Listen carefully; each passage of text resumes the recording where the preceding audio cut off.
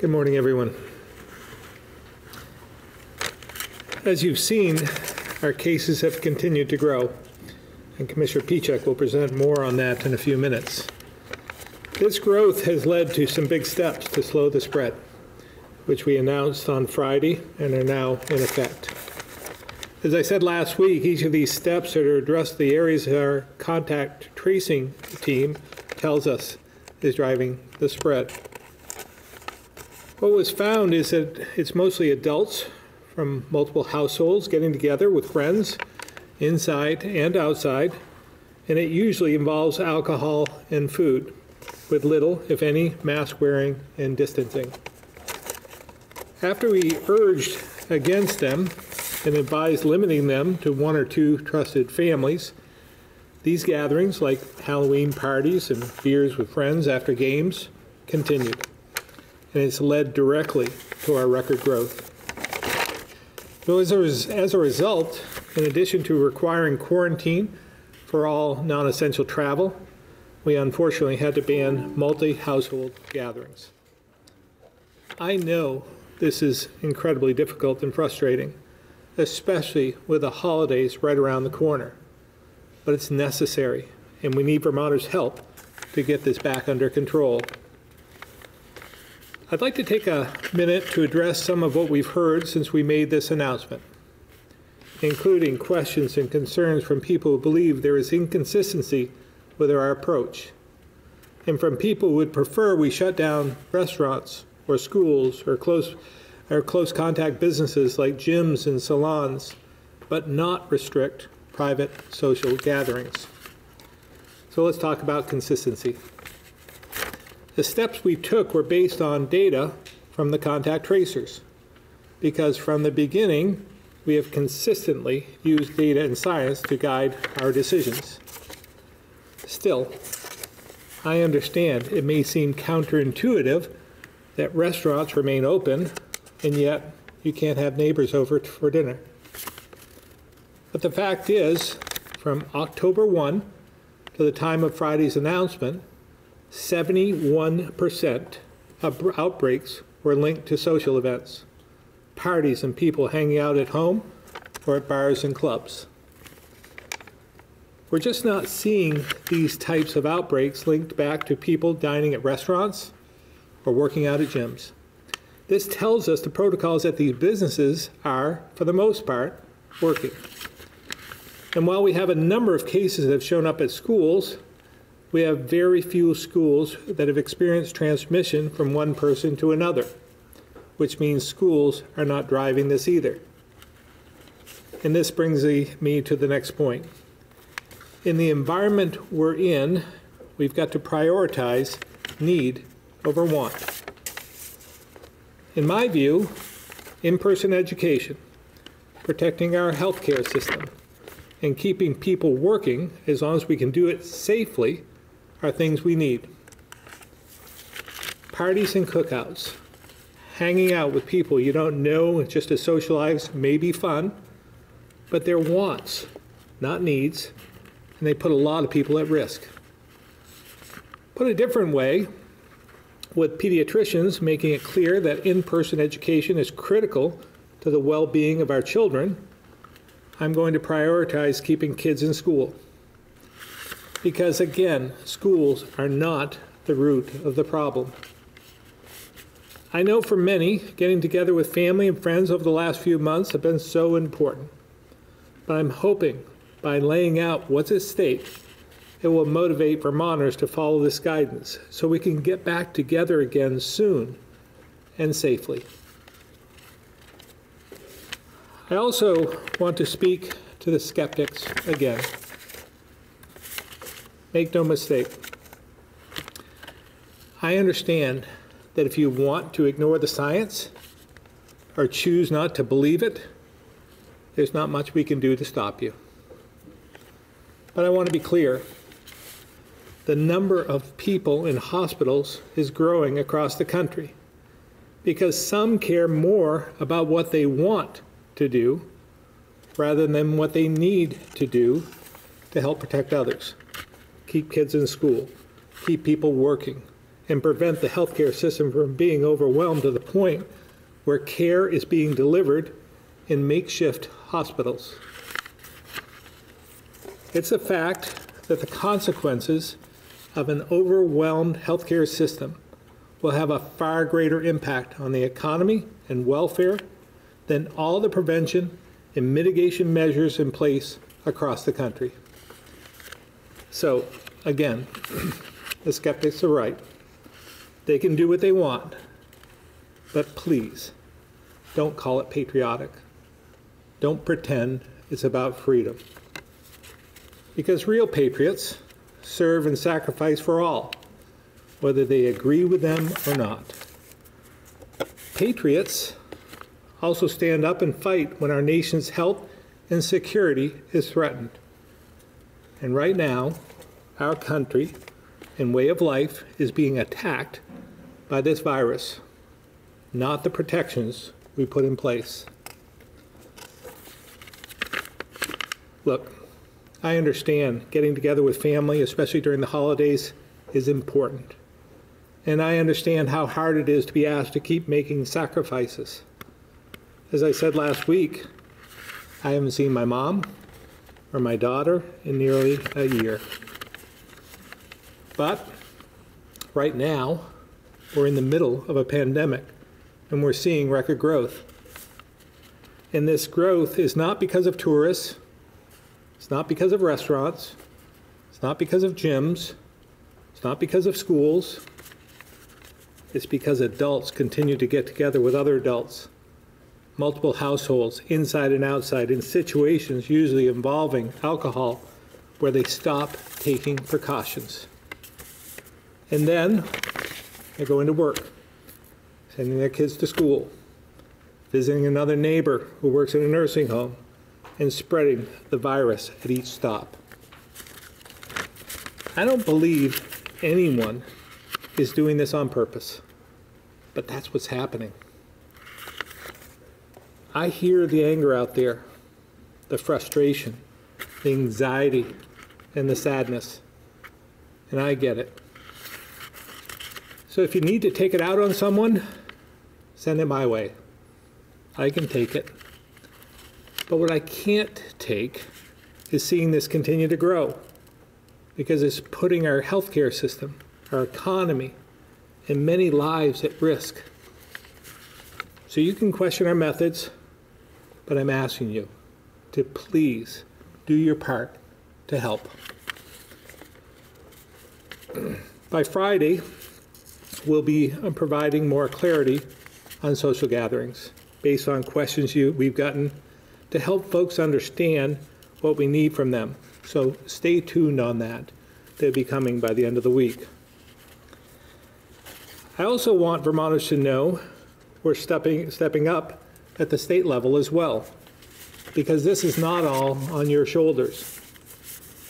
As we announced last week, we're continuing to expand our testing and tracing capacity, which will help slow this further and hopefully without more restrictions. Even though Vermont already does more testing per capita than any other state, our goal is to make testing more available. To start, we're opening five testing centers this week in Burlington, Middlebury, Waterbury, Rutland, and Brattleboro, which will operate seven days a week.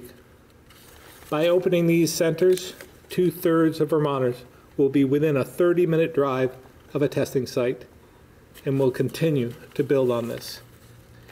Additionally, we started offering testing for all teachers and school staff, with about 1,700 tested yesterday, and that will continue throughout the week.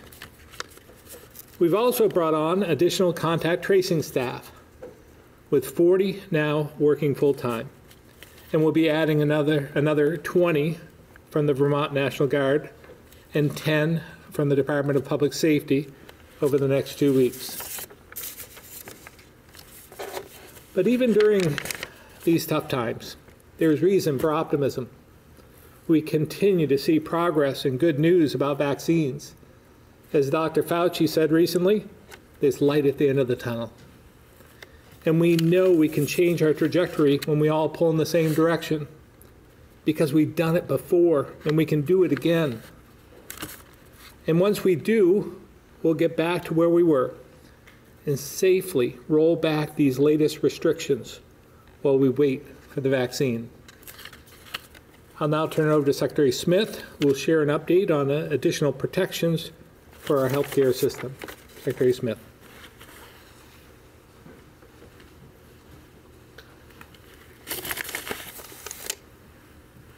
Thank you, Governor. Uh, At the beginning of the pandemic, uh, through the authority of my office as Secretary of Human Services, uh, we restricted uh, visitations at hospitals. In August, we relaxed those restrictions given the low prevalence of the virus in our state. But things have changed. And yesterday, I ordered hospitals to return to the tighter restrictions imposed earlier in the year. So, what does that mean?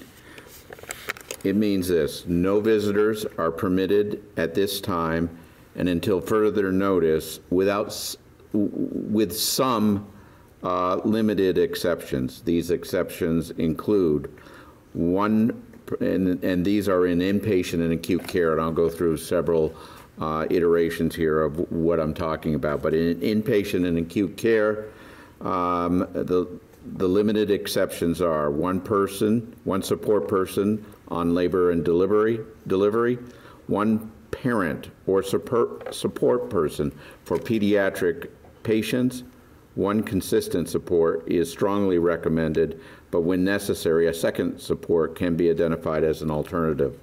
One visitor um, support person escorting an individual undergoing same-day surgery or ambulatory uh, procedure.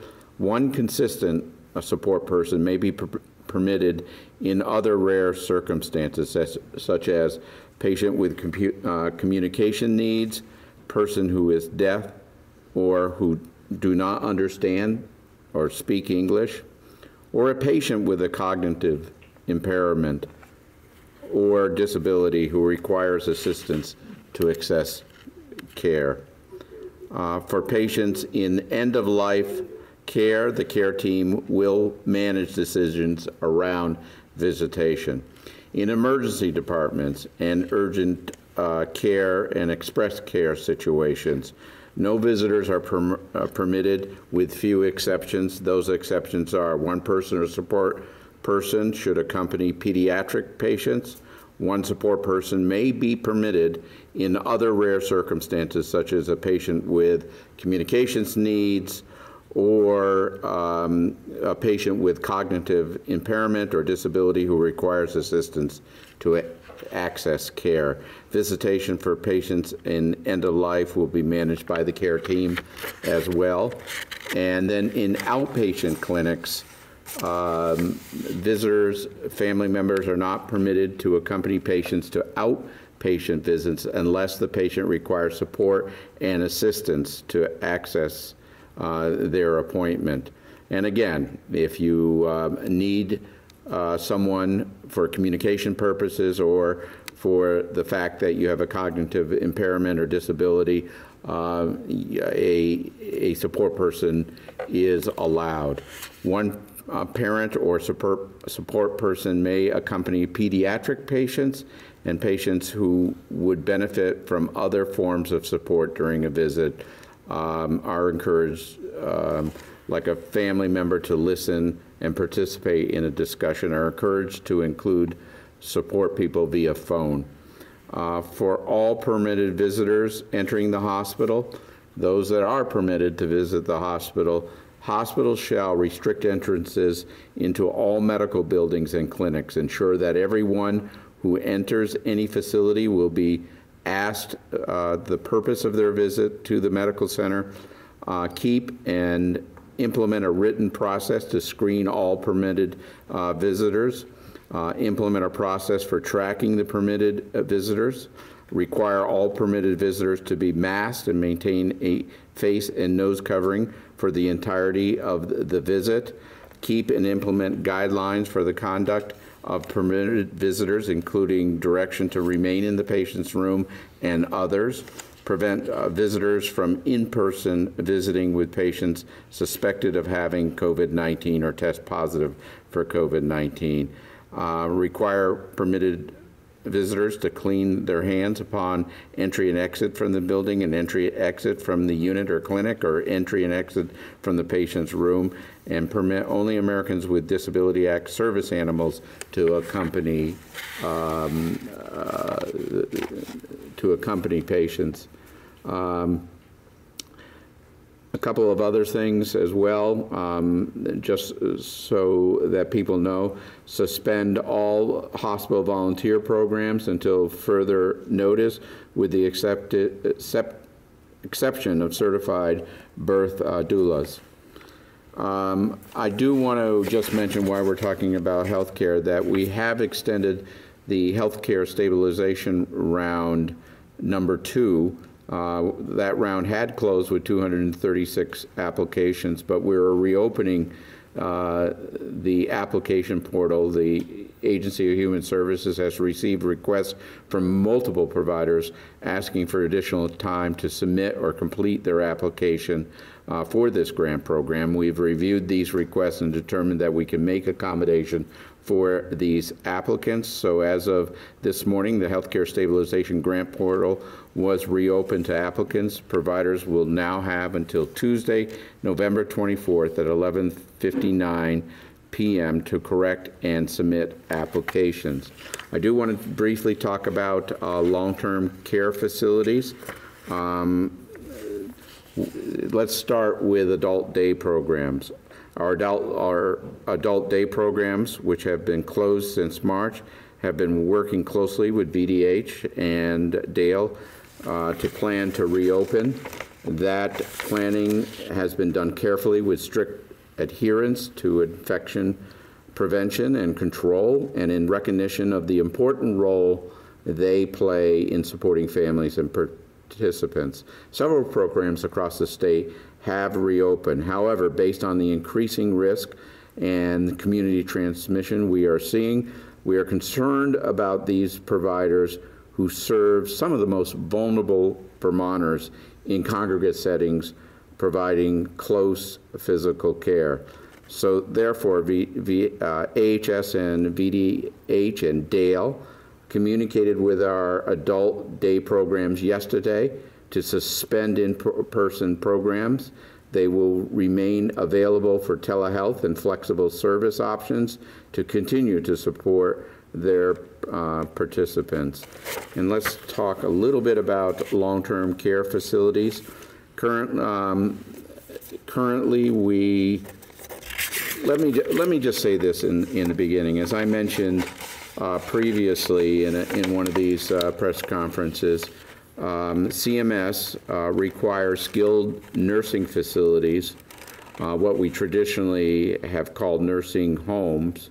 We have about 37 of them here in the state to allow indoor visitation unless there is a positive staff or resident in the facility or the county positivity rates are beyond 10% in the county.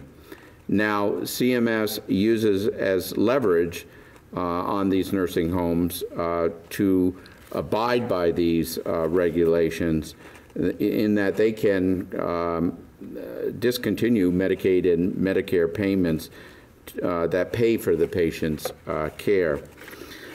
I, I think um, I have a disagreement with CMS position because a county positivity rate of 10% is a significant, um, you have a significant chance of introducing uh, coronavirus to the facility at um, that level. Um, and when you have a positive case that has been introduced to the facility, you are then at a disadvantage.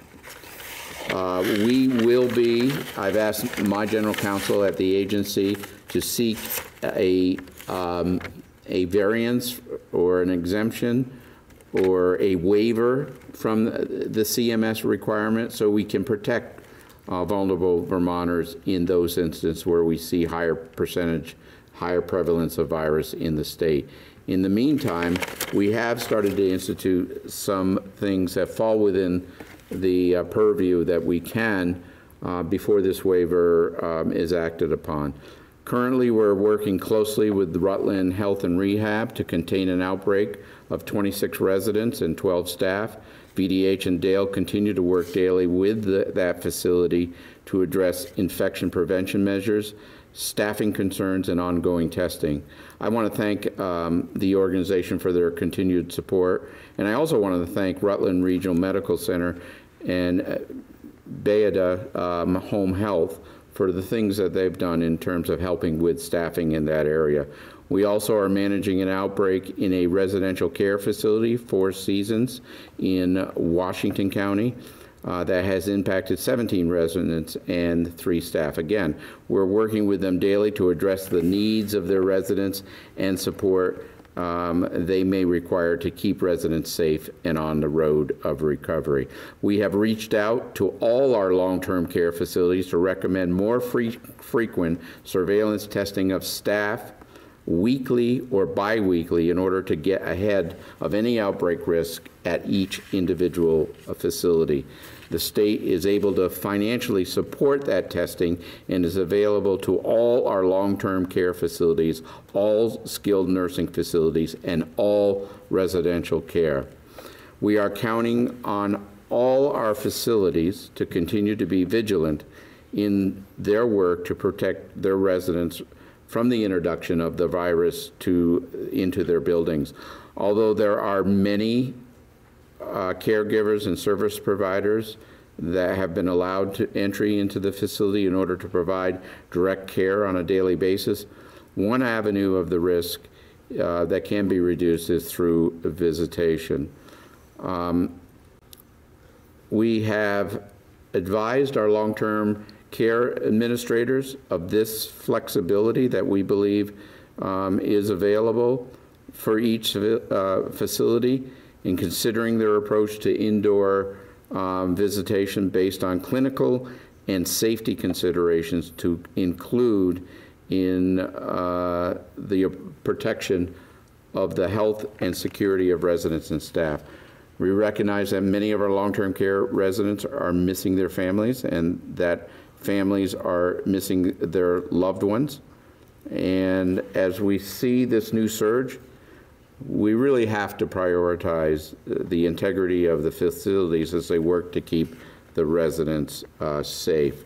So we are advising uh, through DAIL and uh, through the agency that we take as many precautions as possible and still fall within the CMS guidelines, but take as many precautions as possible in order to protect uh, the residents of our long-term care facility.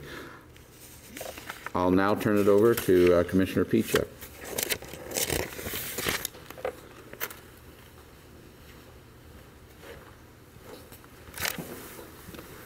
Uh, Thank you very much, uh, Secretary Smith, and uh, good morning, everyone. Um, Just off the top, I want to mention that there won't be a lot of positive or optimistic news necessarily in this presentation. However, as the governor said, and I'd like to reiterate, you know, the uh, future is not inevitable for us. It is truly in our hands, and our actions today, our actions tomorrow, will determine what, in fact, our case counts look like, what, in fact, our hospitalizations look like, um, and how safe we keep ourselves and our communities. So, since the last time we provided this presentation, the United States added an additional 1 million cases. So, this is the fastest the United States has ever added 1 million cases within six days. So that's a pretty astonishing number, and the rate at which it's growing is rather astonishing as well, breaking last week's record of 10 days.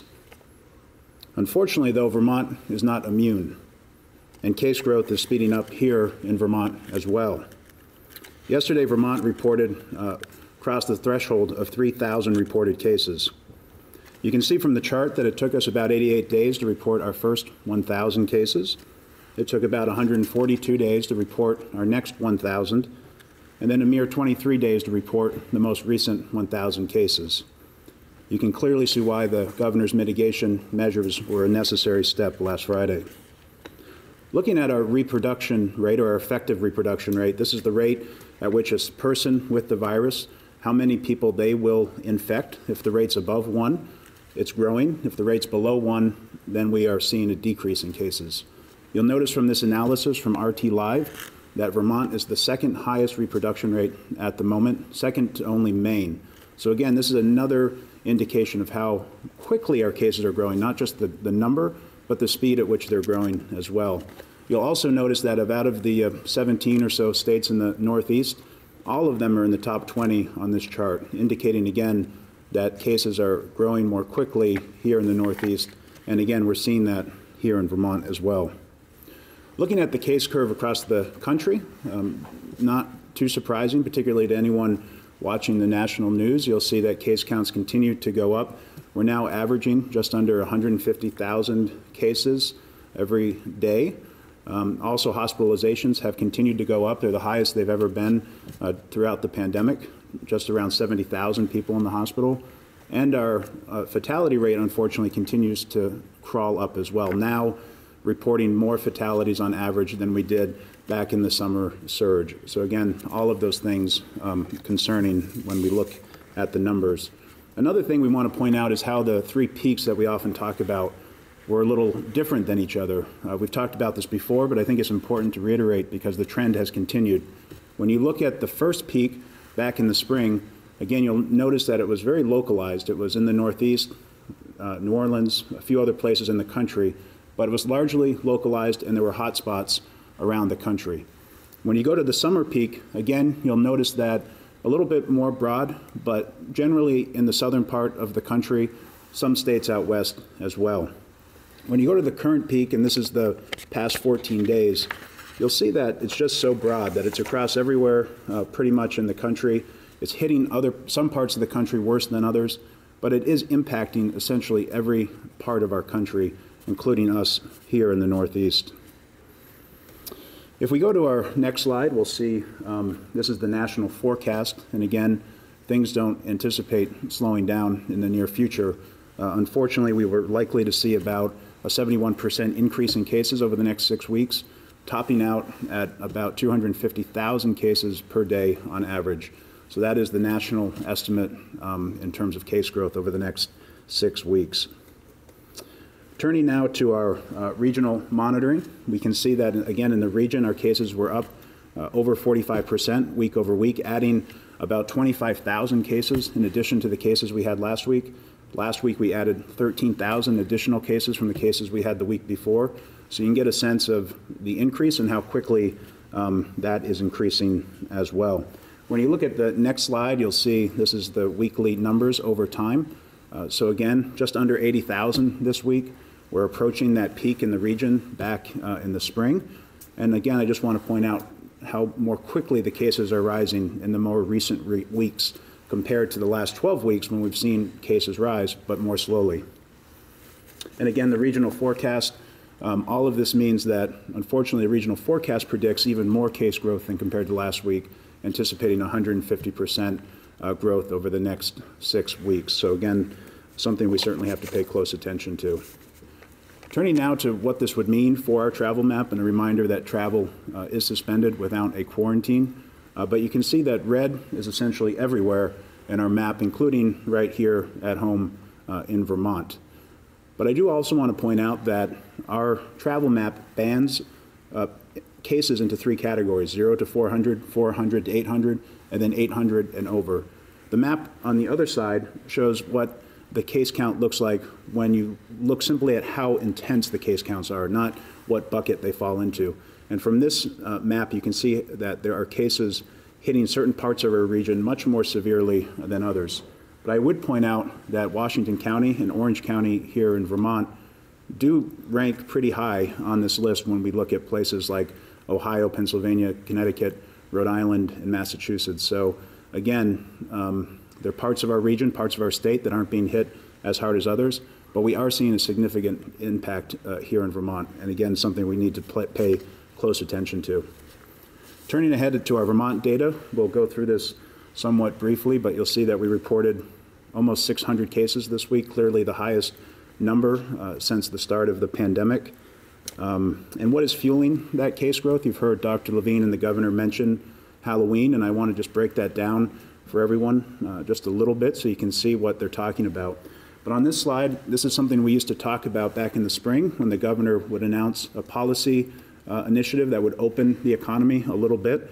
We would measure what happened 10 to 14 days after that policy was implemented to see what kind of behavior was happening, what kind of change in our case counts we saw. And fortunately, throughout the spring, we didn't see much change as the economy, the economy slowly and safely reopened. Here, when you look at Halloween and you look at the 10 to 14 days after Halloween, it does fall right in that period where the case growth did start to tick up much more substantially. Uh, we're seeing this across the country, uh, across cities, across more rural areas, um, calling it the Halloween surge. But clearly, we're seeing the cases go up in that period of time when you would expect them to, accounting for the delay from exposure uh, to getting symptoms, to going and seeking a test, to getting that test result, and then getting it reported to you in the health department. So again, um, you know, it's a pretty clear tie back to Halloween. And it's a cautionary note, again, for us when we think about the holidays that are yet to come and how we might have more vulnerable people in our lives during those holidays as well. So I just want to also point out the new mitigation measures the governor implemented on Friday that went into effect um, on Saturday night. This is another important thing for us to keep in mind that we will start to see the impact of these mitigation measures, assuming Vermonters you know, follow them and change their behavior within the next 10 to 14 days. So we really want to watch this case count uh, and growth closely, and particularly over that sort of 8, 9, 10, 11, 12, up to 14 days after these measures were fully implemented. So that, that's something we'll be keeping a close eye on uh, and reporting on in the future. If we go to our next slide, you'll see the Vermont forecast. Uh, again, you'll see that cases are projected to continue to rise. Uh, on average, even getting as high as averaging 100 a day. Uh, right now, our average is below that, uh, but we anticipate um, that we will start to see cases slow down and start to decrease because of the intervention measures that were put into place on Friday. So again, something we'll be watching closely. And for the first time since last spring, I'll also be presenting a hospital forecast. Uh, this overlays both our historic hospital and ICU data with the forecasted out hospital and ICU data as well. Um, you'll see that hospitalizations could rise uh, into the 40s, ICUs into the low teens. Um, we anticipate having sufficient hospital space for that. But again, Vermonters' behavior will end up determining whether any of these come to reality or not. Just to mention two of these uh, reopening metrics, because we usually breeze over them, but there are two that stand out in the last week or so. The first one is the growth rate. Uh, you can see that the growth rate is higher and more sustained. That's what we talked about uh, back in the spring when we were reopening the economy. We are seeing it for the first time. Uh, we see our, our RT rate, our reproduction rate, above that 1.1 level. That was a a guardrail for us. So again, you're seeing why intervention measures were a necessary component. And then when we look at our positivity rate, we're seeing the same thing. Positivity rate getting close to that guardrail uh, and at a higher and more sustained level uh, over the last week to 10 days. And just very briefly, a couple of updates um, on higher ed and on K through 12. Starting with K through 12, you'll see that uh, here in Vermont, um, we added uh, 20 cases impacting an additional 12 schools. Um, New Hampshire added just under 100 cases, impacting an additional 28 schools, and Maine reported 82 cases, impacting um, 80 or 25 schools. So again, you'll see the number here in Vermont, uh, but we are trending much more favorably to northern New England. Um, and again, with higher ed, uh, University, or sorry, New Hampshire, driven largely by the University of New Hampshire, added 121 cases this week. Uh, Maine, across its colleges, 51, and here in Vermont, uh, 34 with the, many of those cases coming from UVM. And with that, um, I'll turn it over to Dr. Levine.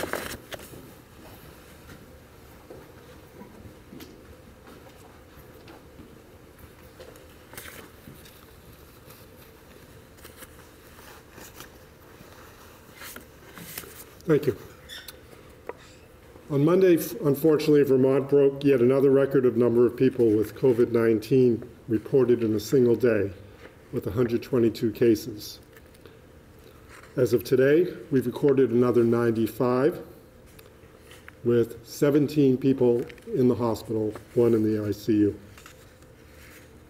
Health department teams are monitoring or investigating a total of 156 plus situations. We have called special attention to Orange and Washington counties in a press release yesterday. Those counties account for nearly 40% of the COVID 19 cases in the state in the last two weeks. The Secretary and I met and are working with town and elected officials in those areas to step up our response and focus on making sure Vermonters are following health guidance, as we do throughout the state, because each new case means the potential for further spread, which can lead to outbreaks. the most important thing we've learned about this virus is that it will take advantage of us, but only if we give it the chance. Asking Vermonters to give up spending time with friends and family outside of their own households is not easy. But based on what we've seen driving transmission, it is necessary. I know we can change our behaviors in time to make a difference, to keep our schools open, to keep people working, and to protect our healthcare system, and importantly, save lives. I shared a story on Friday of how easily a seemingly harmless social gathering could lead to cascading numbers of cases and outbreaks. Today, I want to share a different perspective from someone on the other side of those cases, one of our contact tracers. She's given me permission to both use her name and her story. Her name is Monica Ogelby, and in normal times, she's our health department's clinical services director with the Office of, of Children with Special Health Needs a job which she brings passion to every day. But since the pandemic started, she has been our contact tracing clinical lead. what I'm about to read, she actually wrote in a Facebook post. And this is coming from someone who's not normally big on social media, but the recent outbreak and record breaking case numbers lit a fire. Here's what she writes It's really quite simple. The definition of a close contact in the contact tracing world is within six feet for greater than 15 minutes. So if you don't want to get named as a contact and have to quarantine, don't be within six feet for greater than 15 minutes of anyone you don't need to be. If you don't want to get COVID 19, don't be within six feet for greater than 15 minutes of anyone you don't need to be. If you don't want me to call you and ask you where you've been for every second of the day for the last week, we can make that phone call very short if you haven't been within six feet for 15 minutes of anyone you didn't need to be. Now, some people need to be in close contact with others.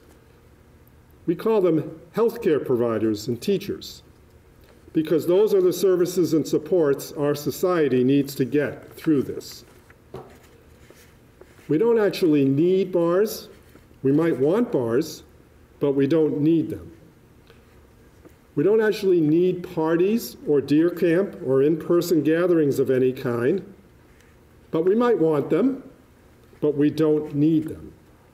Not the way we need our healthcare system to stay afloat or our children to have access for an equitable education. Since March 9th, I've been yanked from my day job, weekends, holidays, and family to be a clinical lead for Vermont's contact tracing team. I'm not looking for thanks or accolades. I'm part of a team of many. What I need for you is to stay away from people you don't have to be in close contact with. Wherever you are, whatever you're doing, ask yourself Am I within six feet for greater than 15 minutes of anyone?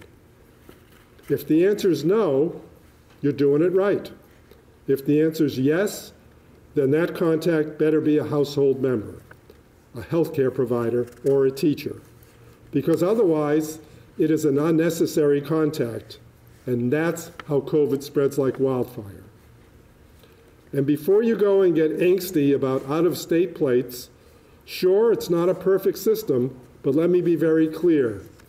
This current spike in recent cases is related to the poor decision making by your friends and neighbors, not out of staters. Even the nearly 80 cases we had at one college was relatively well contained. It got in there from a community member, but it didn't get back out. So wear your mask, wash your hands, keep your distance from others. The end.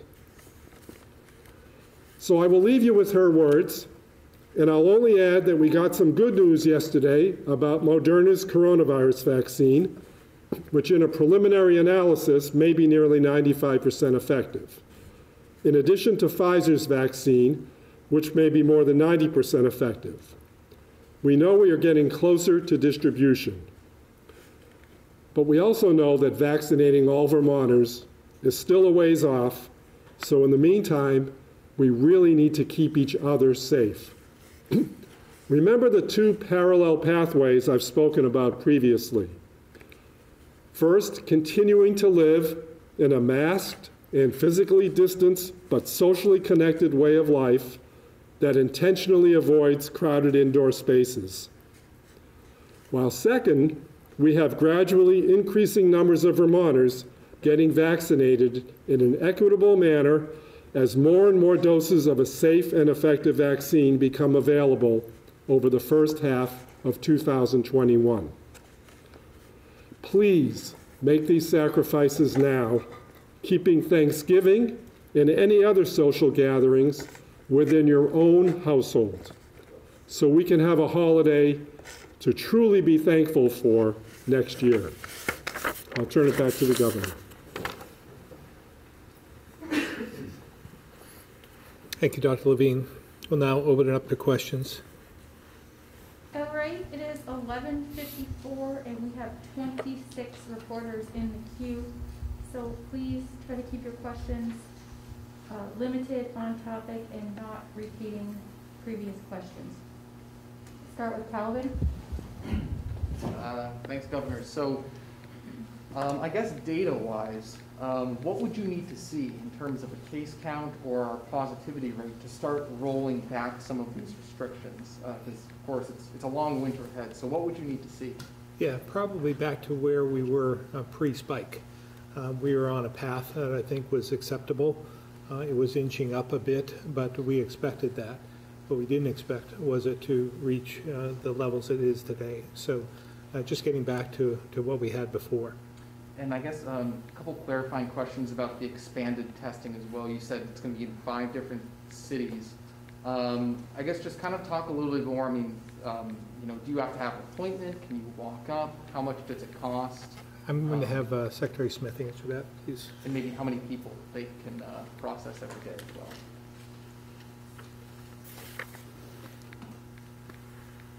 Thanks, Calvin. Um, Here's the ultimate goal. We hope to have 14 sites uh, by the end of the month up. We expect, we do, we are planning to have five sites up uh, this week, as the governor had mentioned, in uh, Burlington, uh, Middlebury, Waterbury, Rutland, and Brattleboro.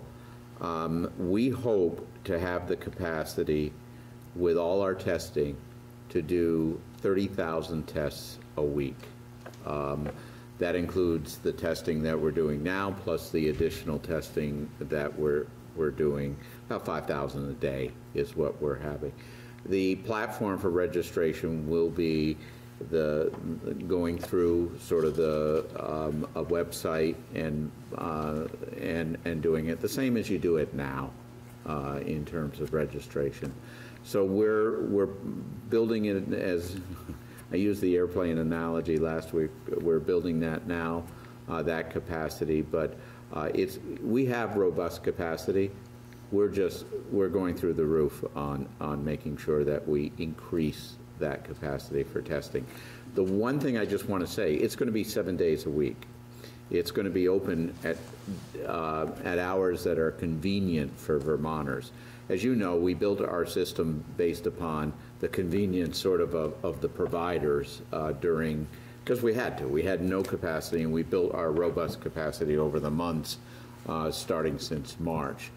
Uh, This is a, this is a little bit different. We're, we're looking at how do we make it convenient for Vermonters? How, how do we make it that they drive no more than 30 minutes to get a test? making tests available at a time that's available for them.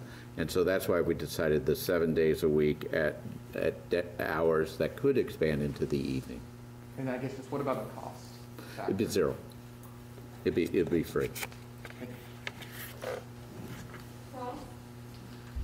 Uh, Thank you very much. Uh, Not sure who the best person might be for this, perhaps Dr. Mark Levine. Um, I remember back in the spring, so much of what was talked about was, was flattening the curve. That was the, the phrase that was used uh, as cases were going up then. Um, I think many people feel like we just stepped into a time machine and went back to April in some regards. Does the, when does the curve, in, in thinking about the curve and how it's uh, preparing for a possible surge in our healthcare system, come back into play when we're looking at cases like this? Is that a, a terminology that we're thinking about using again? Dr. Levine or Mr. Pieciak? Yeah, so uh, Commissioner Pieciak showed you the two curves actually on the one slide. And the most surprising thing about this curve that we're in now is the rapidity with which those changes occurred. Um, Not only Vermont-wide, but region-wide, to be honest. Um, But certainly, we're talking about Vermont here. So um, that is an epi-outbreak kind of curve. So we anticipate every curve like that, when you institute mitigating measures, is going to reach a peak and then begin a downslope, and then hopefully uh, continue down before it plateaus out at a much, much lower level. So it takes two incubation periods to see the impact generally of any intervention. We'd like to see in that 10 to 14 days, which is one, one incubation period, um, a, a- significant evolution so that we know we're going in the right direction. And then in that second incubation period, even further progress. Um, But that's what we need to be prepared for.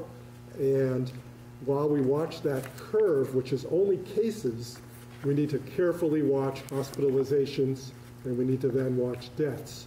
Not that I'm anticipating either of those are going off the charts, but at the same time, those are what we call lagging indicators, and they don't respond as quickly. Um, Cases go up and you don't see the impact on them as much, and then when the cases start to come down, the impact on those may actually persist because they're lagging behind. So we're going to very carefully watch that. And my, just uh, second question would be, um, do we know if the additional beds at the Essex Fairgrounds are up and running yet? I know I was given a- the timetable last week that pointed to about this time this week for that to be up and running. To give you a specific number, I'll have Secretary Smith. Thank you. Actually, I was going to pass it off to uh, Commissioner Schirling to, uh, to ask that. Um, I know that we added beds uh, to our capacity to uh, bring that up. We, we had 50 beds already in place. We're bringing on additional beds. And uh, Commissioner Schirling, do you have that information? I do, thanks Secretary Smith. Uh, That's correct, we have 50 that are deployed now. Uh, The original plan was with regard to deploy an additional 100 over the course of this week, uh, ending early next week. Uh, Because it's logistically just as easy to do 200, uh, that number will be an additional 200. So by early to mid next week, we'll have 250 beds in uh, multiple pods available at CVE Essex. Thank you. Steve? Uh, Governor, are, are you concerned with the, uh, with the judiciary stepping back their, uh, their reopening of the court system? Are you worried that, uh, you know, it's going to reach a point where, you know, we're going to have busloads of, uh, of cases that are uh, coming into the courts, or trying to uh, deal with all of that? Yeah, well, again, it's, um, it's concerning, obviously, um, but we have to deal with reality right now, and it's not safe to get people together. Uh, It's the want versus need uh, scenario all over again.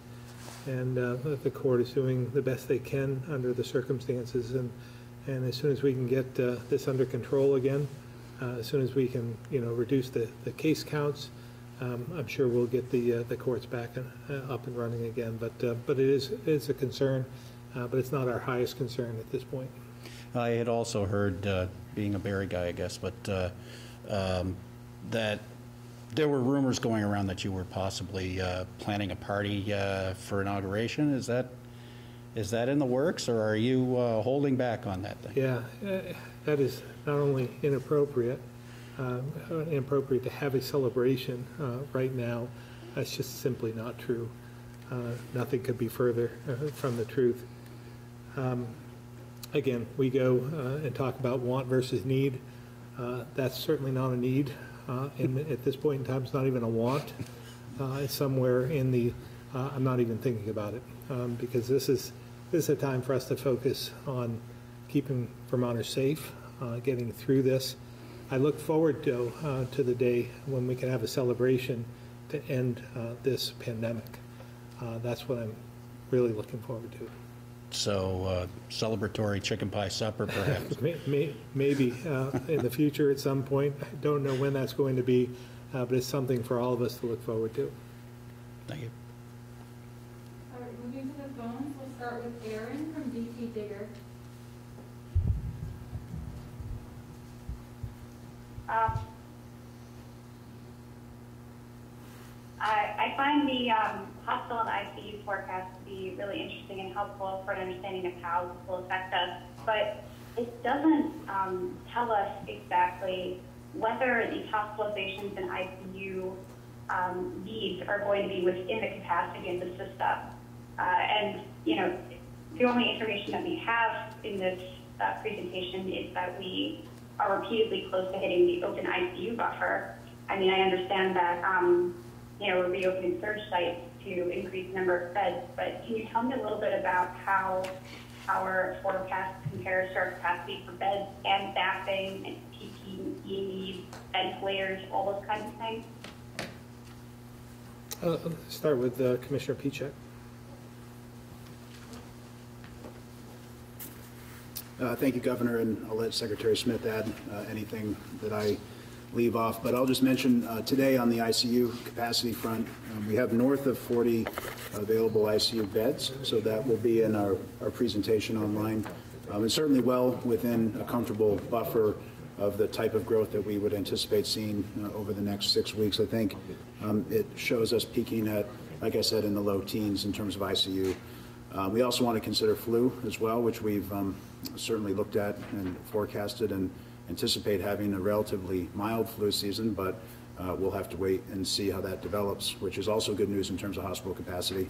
Um, And then in terms of the potentially, you know, 40 to 50 um, general beds for COVID, again, that's within the hospital's capacity currently, and we project it to be in the hospital's capacity in the future, even when accounting for flu um, hospitalizations as well.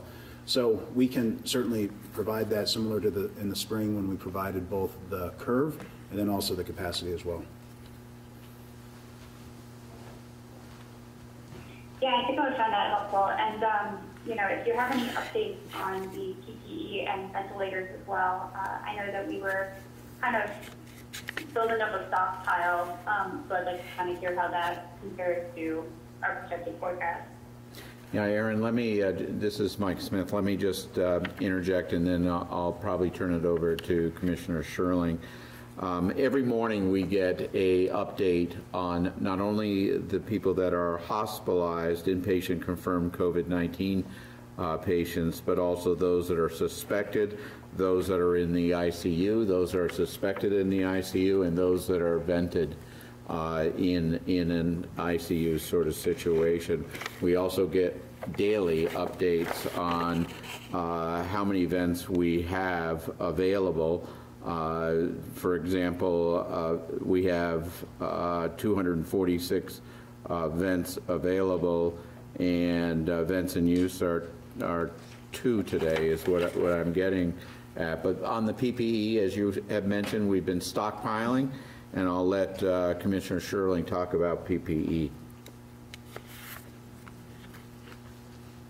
Thanks, Secretary Smith, and thanks for the question. Uh, The detail on reserve ventilators, in addition to the 246 that- that are in use or are available statewide, uh, we have purchased an additional 79 ventilators that are either in reserve or have been deployed. 74 are in a warehouse run by the UVM uh, Health Network, ready for deployment. They've been tested uh, and are in ready reserve. five were drop shipped directly uh, in the spring to North Country Hospital, so they went directly uh, to the field, and we have an additional five that are on uh, order, uh, on back order at this point.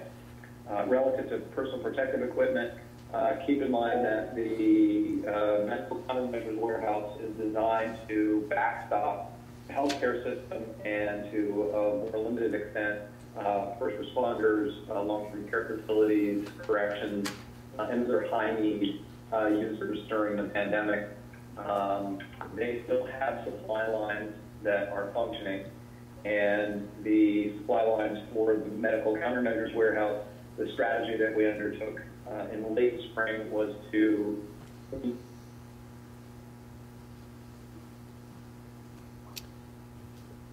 Yeah, sorry, Aaron, we may have, uh, additional 60 days on top of that for a total target of 120 days.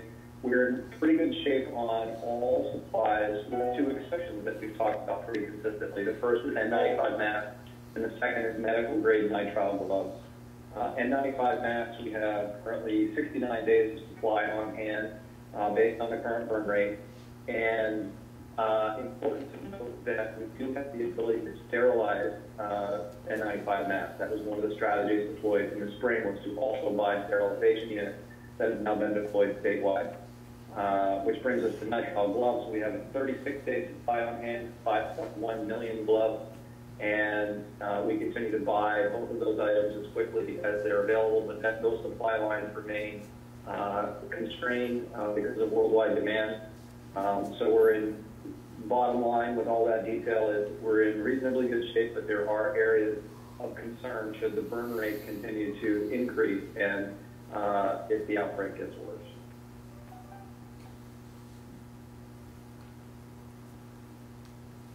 does that do it, Aaron?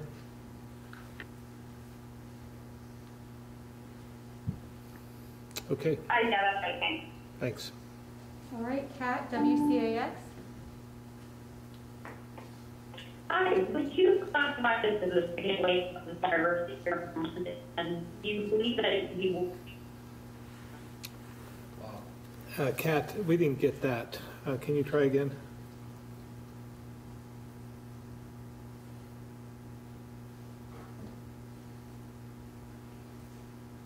Kat, are you there? All right, we'll come back to Kat. Hopefully, we're not having a technical difficulty. Kat, we'll come back to you uh, a little bit later. Eric, Times Argus? Yes, this is Leslie uh, for Dr. Levine. Uh, do you know why Washington County and Orange County are seeing the cases that they are? Uh, Washington County is seeing more cases than Chittenden County despite having a third of the population. Um, Eric, I'm going to let uh, Dr. Levine answer that, but I- I want to be a little bit more blunt. Um, I think this really did start uh, at the skating facility and then blossomed from there, uh, as you know, and then uh, um, as well with uh, with Halloween and the number of parties that went um, uh, went on throughout Washington County for that for that holiday. Um, just exacerbated the, the situation, so exacerbated. Uh, so we, um, we learned a lot, obviously, uh, about what to do and what not to do, and that's why we put uh, into place a lot of the measures uh, we did last Friday uh, to counteract that, but uh, Dr. Levine can answer further. Just so, so members of the public know what we put out in our press release, the rate, the incidence rate of cases in Washington County is 40 cases per 10,000 people, which is three times the rate across the state. In Orange County, it's um, 23.5 cases per 10,000 people, which is twice the rate in the rest of the state. Everything the governor said is true. Uh, We do believe it did begin way back when, um, in the not-too-distant past with the ICE team's outbreak, and then the subsequent issues regarding Halloween and indoor gatherings. Um, The county was already starting at a higher level uh, before Halloween, uh, so Halloween could only have served to exacerbate what was already going on um, at a higher level than other parts of the state. Chittenden County does have the most populated part of the state, but it, you're correct that it is not uh, the most active place on the map at this point in time, though certainly it ranks third, uh, more active than the brunt of the rest of the counties in the state, which all have numbers in the single digits for their incidence rates. Okay? Was that Eric? Hey, thank you. All right, we're gonna go back to Kat, who I believe should be on the line now. Kat, WCAX? Sorry about that. Um, I was asking, would you classify this as the second wave of the virus here in Vermont? And do you believe it will be worse than this past spring? I think in some respects, it's already worse than the spring. Uh, As uh, Commissioner Pieciak showed uh, on the modeling, we've exceeded uh, the number of cases per day. Uh, Also, uh, the number of cases, the dramatic rise um, is, um, has been in, in the number of days it's taken for us to get there is much more dramatic. So I don't know if you'd classify it as a second wave. I think we talked about this uh, before. It might be like the third wave. I'm, I'm not sure. But uh, uh, Dr. Levine? Yeah, not to um, demean the question at all, I I don't know that the term has much meaning for us here at this point. If you look between the initial springtime issue and the current issue, we have abundant small blips, one of them with the Winooski-Burlington outbreak, a little bit larger blip of outbreaks that have occurred all along the way, just reminding us constantly that there's a steady level of virus in our communities that has always been there, will continue to be there uh, through the time till we can get everyone vaccinated and more immunity in the population. And that virus level uh, always being there um, is only exacerbated by the move indoors as the weather changed and the move to more gatherings indoors as the weather changed as well. So it's really that confluence of influences.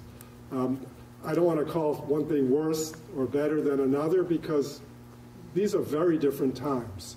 The first peak, no testing, no contact tracing, no PPE, and we didn't know how to even treat people with this virus.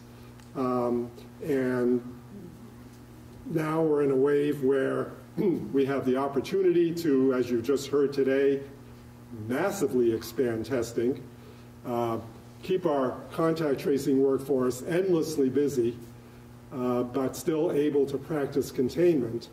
And we have therapeutics that are different. And I was listening in on this conversation uh, just a few moments ago regarding the ICUs and the ventilators and all of that. And I don't want to poo poo this virus. This is a serious medical problem and an issue for our society. But we know so much more about how to keep people who are in the hospital out of the ICU by the care they get on the way. And then if they get to the ICU, we have found there are less of them on ventilators because we have strategies to utilize in caring for them. And I'll just mention one thing. There is a, a new emergency use authorization for uh, the monoclonal antibody uh, that I believe our president made famous when he entered the hospital. Um, we are expecting in a week or so that states will begin receiving this from the federal government. I don't want to put too much false hope or potentially false hope on this one new intervention because we haven't been able to view a lot of the literature that uh, supports its use. It's just premature. It hasn't been totally released for peer review. But at the same time, the promise of the monoclonal antibody is to take people who are classified, if you will, as moderate illness in, this, in their homes or in our society and help prevent them from having to be hospitalized.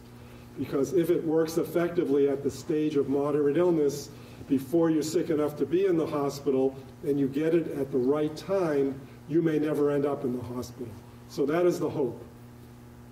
I'll stop there. It's probably more than you asked for. A little bit. The impetus for my question was that it appeared like in the spring, a lot of people took this really seriously. And right now, it appears like either there's the fatigue that we've mentioned in past press conferences, or that people feel like with the abilities to treat the virus better, that there's some flexibility to be more lax in how they respond to it. That was the impetus for why we asked about whether this is going to be worse than this past spring was to make a comparison. Great, great frame of reference to that give end- us. Yeah, To that end, how are our labs doing compared to this past spring, and are we able to handle the amount of tests and positive tests that are coming through? Yes. You're saying, how are the labs doing? So our public health, our public health lab is cranking it out, but certainly working very hard. We have access to the lab in Boston, the Broad Institute, which um, you just heard a little bit about with the new test sites we're setting up, and some of the surveillance testing we've been doing, both in college students previously and now in teachers from K through 12 and other school staff. Um, That, that and our public health lab have turnaround times that are consistently below two days. Um, And then we have the access through the pharmacies and other uh, healthcare settings to either their labs on site, in the healthcare settings example, or out-of-state labs. We can be very honest, some of the out-of-state labs have longer turnaround times, um, and we're concerned about that. And that's why we're trying to direct as many of the labs as possible to the sites that have faster turnaround. But we have no problem in terms of labs running out of the uh, collection kits, labs running out of the assay materials to actually do the test, uh, and we have actually stockpiled them, at least at the state level, for our own public health plan. Thank you so much. Rebecca, I just want to, uh, to add as well, uh, to put this in perspective, when, when we first started uh, back in the spring, our, uh, our public health lab was testing maybe two or 300 a day. Um, And recently, uh, they hit a high mark of 1,300, 1,300 uh, in a day. So they've, they've done a lot of, they've made a lot of changes and obviously for the better. That, with expanding some of our commercial labs and so forth uh, to take up uh, some of the testing, has gotten us to the point where, again, we're contemplating 5,000 a day.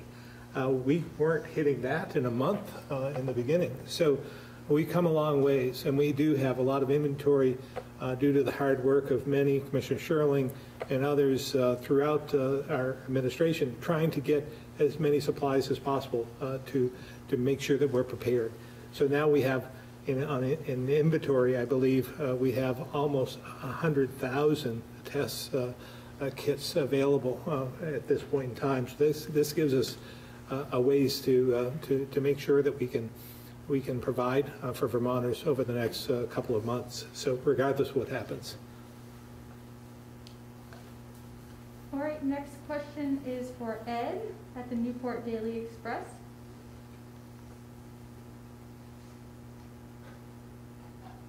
Yeah, good day, uh, Governor. I, you know, I I understand uh, from the urgency in your voice when you're talking about trying to, you know, urge people to be responsible. Uh, And I know that was sincerely yourself and your administration trying to achieve uh, that kind of uh, goal.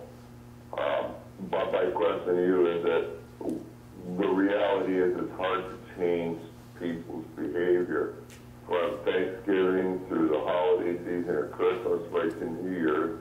People are going to go out. They are going to, you know, commingle, if you will. Um, is there other steps that you can take to, to close down the economy during this time period uh, to, to to do what you can to keep this uh, virus from continuing and spreading? Yeah, uh, You good. close the bars, are- are you gonna close the restaurants, you I'm asking?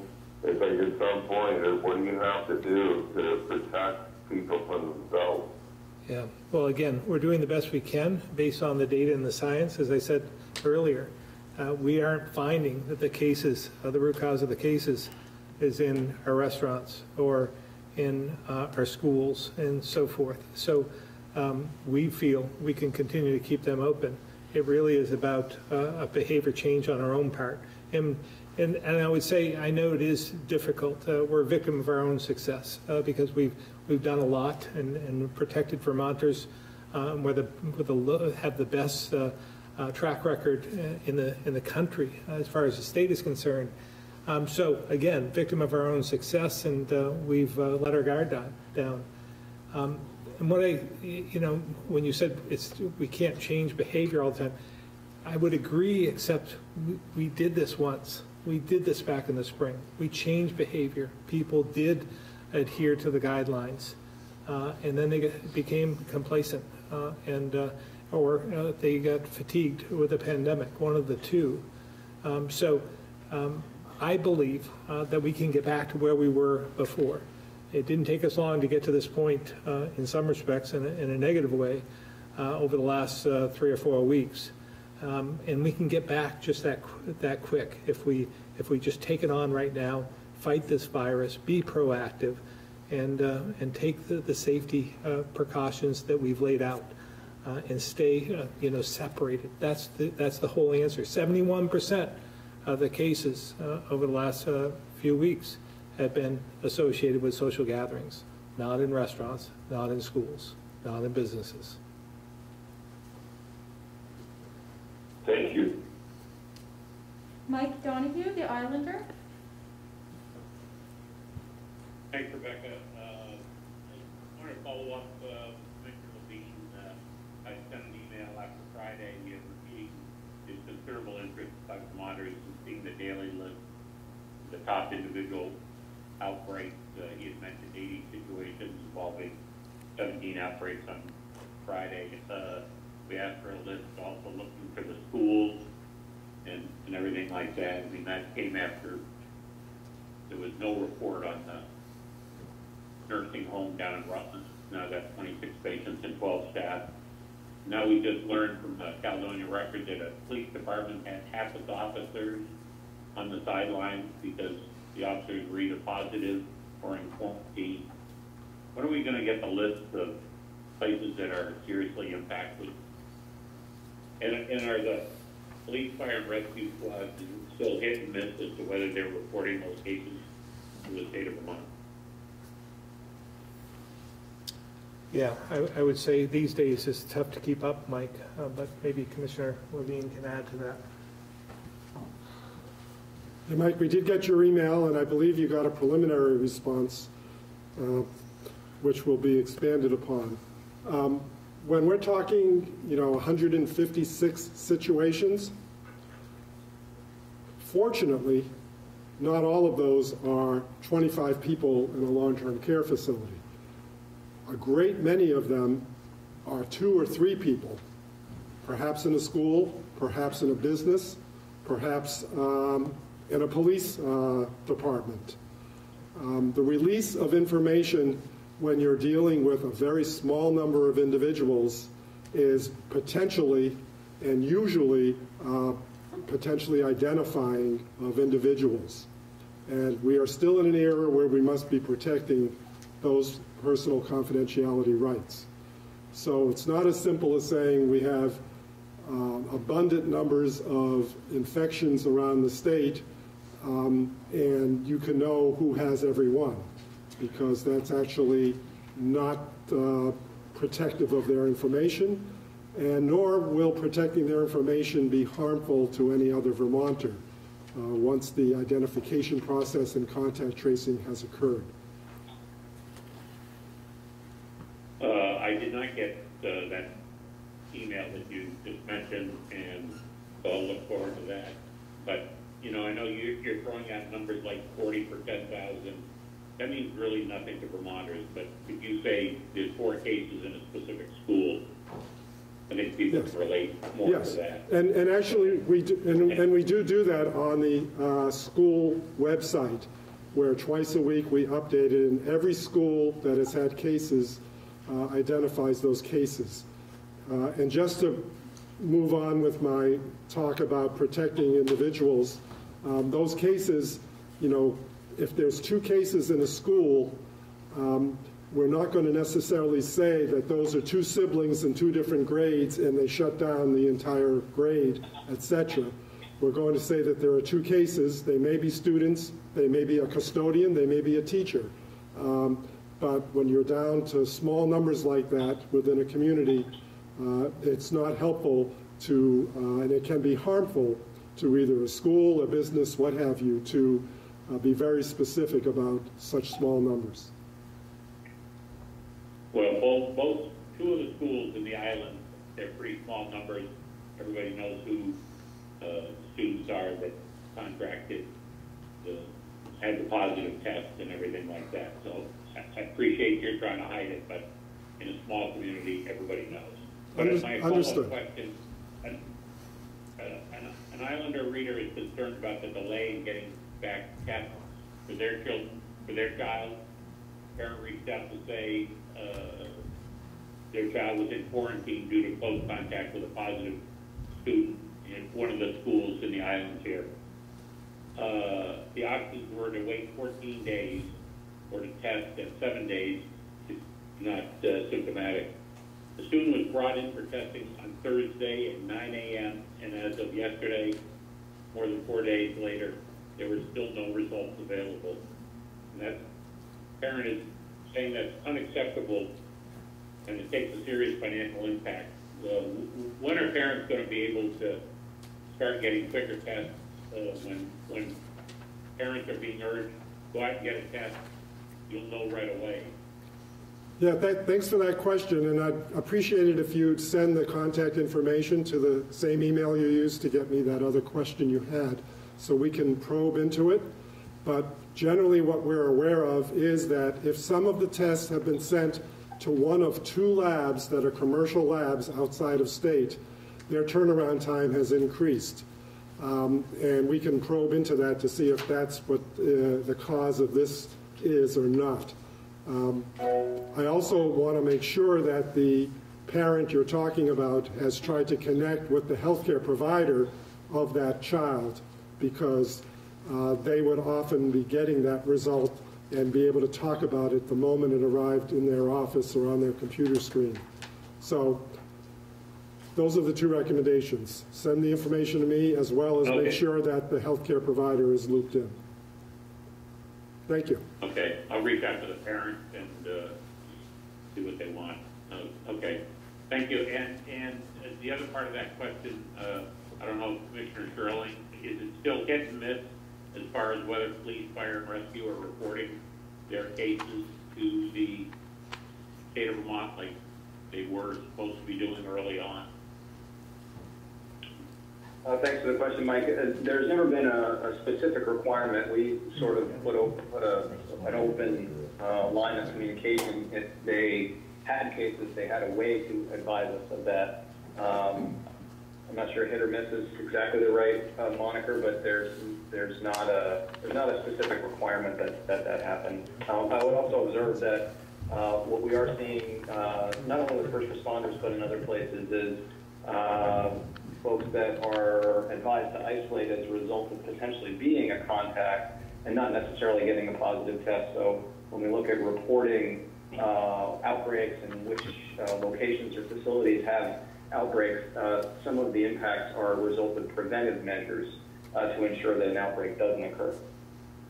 All right, And last Smith. thing, how many no, troopers have been impacted by, uh, by this? I'm sorry, there was uh, there were two people talking. How, how many troopers have been impacted by COVID? Uh, I don't have a total count, but I can tell you that there have been a handful of employees of the Department of Public Safety that have been impacted by COVID, either directly or uh, as a result of a family member's exposure. Thank you. Thank you all. I just want to follow up a little bit uh, because Vermonters, uh, Vermonters need to understand this. It depends on where your provider is sending um, your uh, specimen to what lab. And it's important because I think we, we need to really sort of hone in on this. And that's why we're increasing our testing so uh, dramatically. Um, labs throughout the country, depend, depending on what your what lab your provider uses, uh, will have variances in the turnaround time. For example, the the Vermont Department of Health lab has a turnaround time, and we monitor this uh, almost on a daily basis, um, has a turnaround time of 1.1 days. Um, For example, Rutland Regional Medical Center has 1.1 days, where we, and the Broad Institute that we're find, that we're using for the expanded uh, health, um, for the expanded testing capacity that we're doing, has 1.8 days. When you look at other labs throughout the country, they are starting to become overwhelmed by uh, uh, by incidences in other parts of the country, Mayo, Quest, those are starting to see backlogs in their labs. So it's important for your provider and you to know that it's important where the lab results go um, uh, in, in terms of turnaround time. And I guess, Mike, what I would ask you to do when you ask your, your constituent or your reader, when they contact the uh, department, ask them where they got their test and who was the provider, because that, that is uh, important. Thank you. All right, we have, it's. It, it was Mike, for the UVM Medical Center. we've gotta move, we gotta move to the next caller. We have seventeen people left in the queue, and it is twelve thirty. Next up is Stewart at NBC. Uh, yeah, good afternoon. Um, question for Commissioner Pieciak. Uh, regarding hazard pay grants, uh, I gather the deadline has now been extended till tomorrow. Since the three senators went public the end of last week, which of the big name employers have applied uh, in the last couple of days? I understand you've been reaching out directly. Are you expecting any more? Can you give us a little update? Yeah, for sure. So um, we also will mention just that we have been doing outreach with those companies as well. Um, and we've been uh, making sure they have all the information that they need and uh, that they understand what the process is, what the implications are for their employees and for the uh, company itself. So at this point, you know, we have received an application from Shaw's. That was one that was a, a big one outstanding. Uh, we received just the beginning of the press conference an application from Walmart, which was another one that was um, outstanding. Uh, CVS has applied, Walgreens, Lowe's. Um, so many of the uh, larger out-of-state companies have uh, decided to apply. We had a number of them that were still trying to get internal, um, you know, sign off on Friday, and we decided to extend the deadline largely to make sure that they could um, get that deadline or get that sign off and meet the deadline, which is uh, tomorrow at noon. Home Depot, Costco, no? Costco has applied. Uh, Home Depot, uh, we're still uh, waiting to see their decision. Okay, and just to clarify on the five new testing sites, um, on your way uh, north of that, who should go get tested at those sites?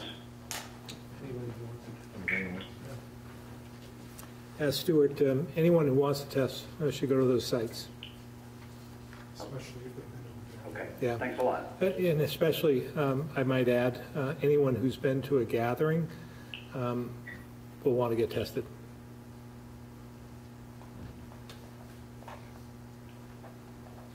Thanks. Wilson, the AP. Um, hi, everybody. Uh, Governor, when you started talking earlier, I was listening to you at uh, your descriptions of how the case numbers have gone up and tracing it back to the, uh, the, the small social gatherings. I was going back and forth between deciding, trying to decide whether you, I thought you sounded angry or frustrated.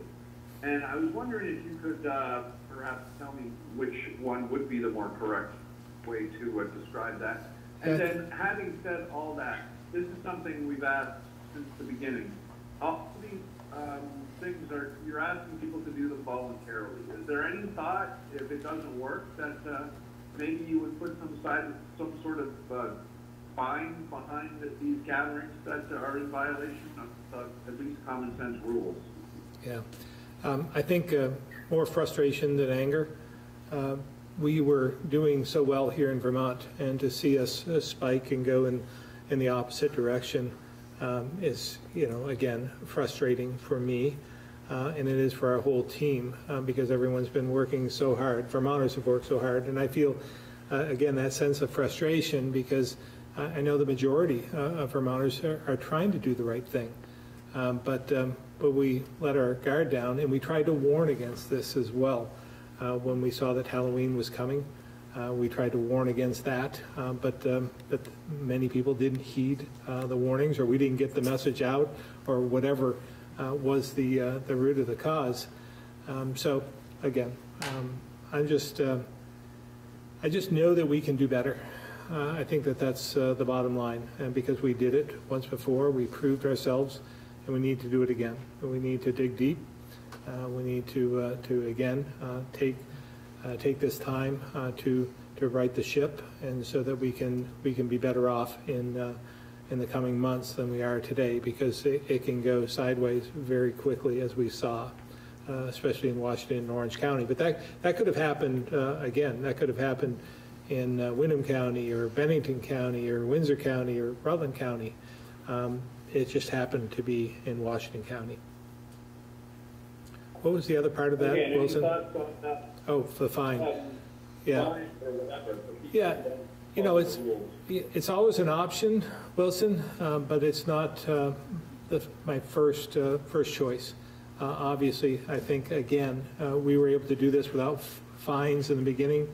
Uh, We were able to comply, uh, take the guidance, take this seriously, and do the right thing. So I still believe in Vermonters' willingness uh, to, uh, to put this behind us, uh, and so that we can get back to whatever the, the normal was over the last three or four months as we await uh, a vaccine, which is really uh, the end goal, which we really need. Uh, And there is some hope on the horizon for that. So, uh, so again, if we can get Vermonters to, uh, to just take this uh, a little more seriously than they have, I think that this, this will have beneficial results. We'll see them in the near future. Probably, you know, the lag time is about two weeks from anything that we do. Uh, So we'll, we'll know in about two weeks whether uh, Vermonters are taking this more seriously or not. Otherwise, we'll, uh, we'll show uh, what uh, Commissioner Pieciak showed for uh, Thanksgiving in Canada. Uh, and We hope that that's not the case. Uh, Okay, perfect, thank you very much. Lisa, the Valley Reporter?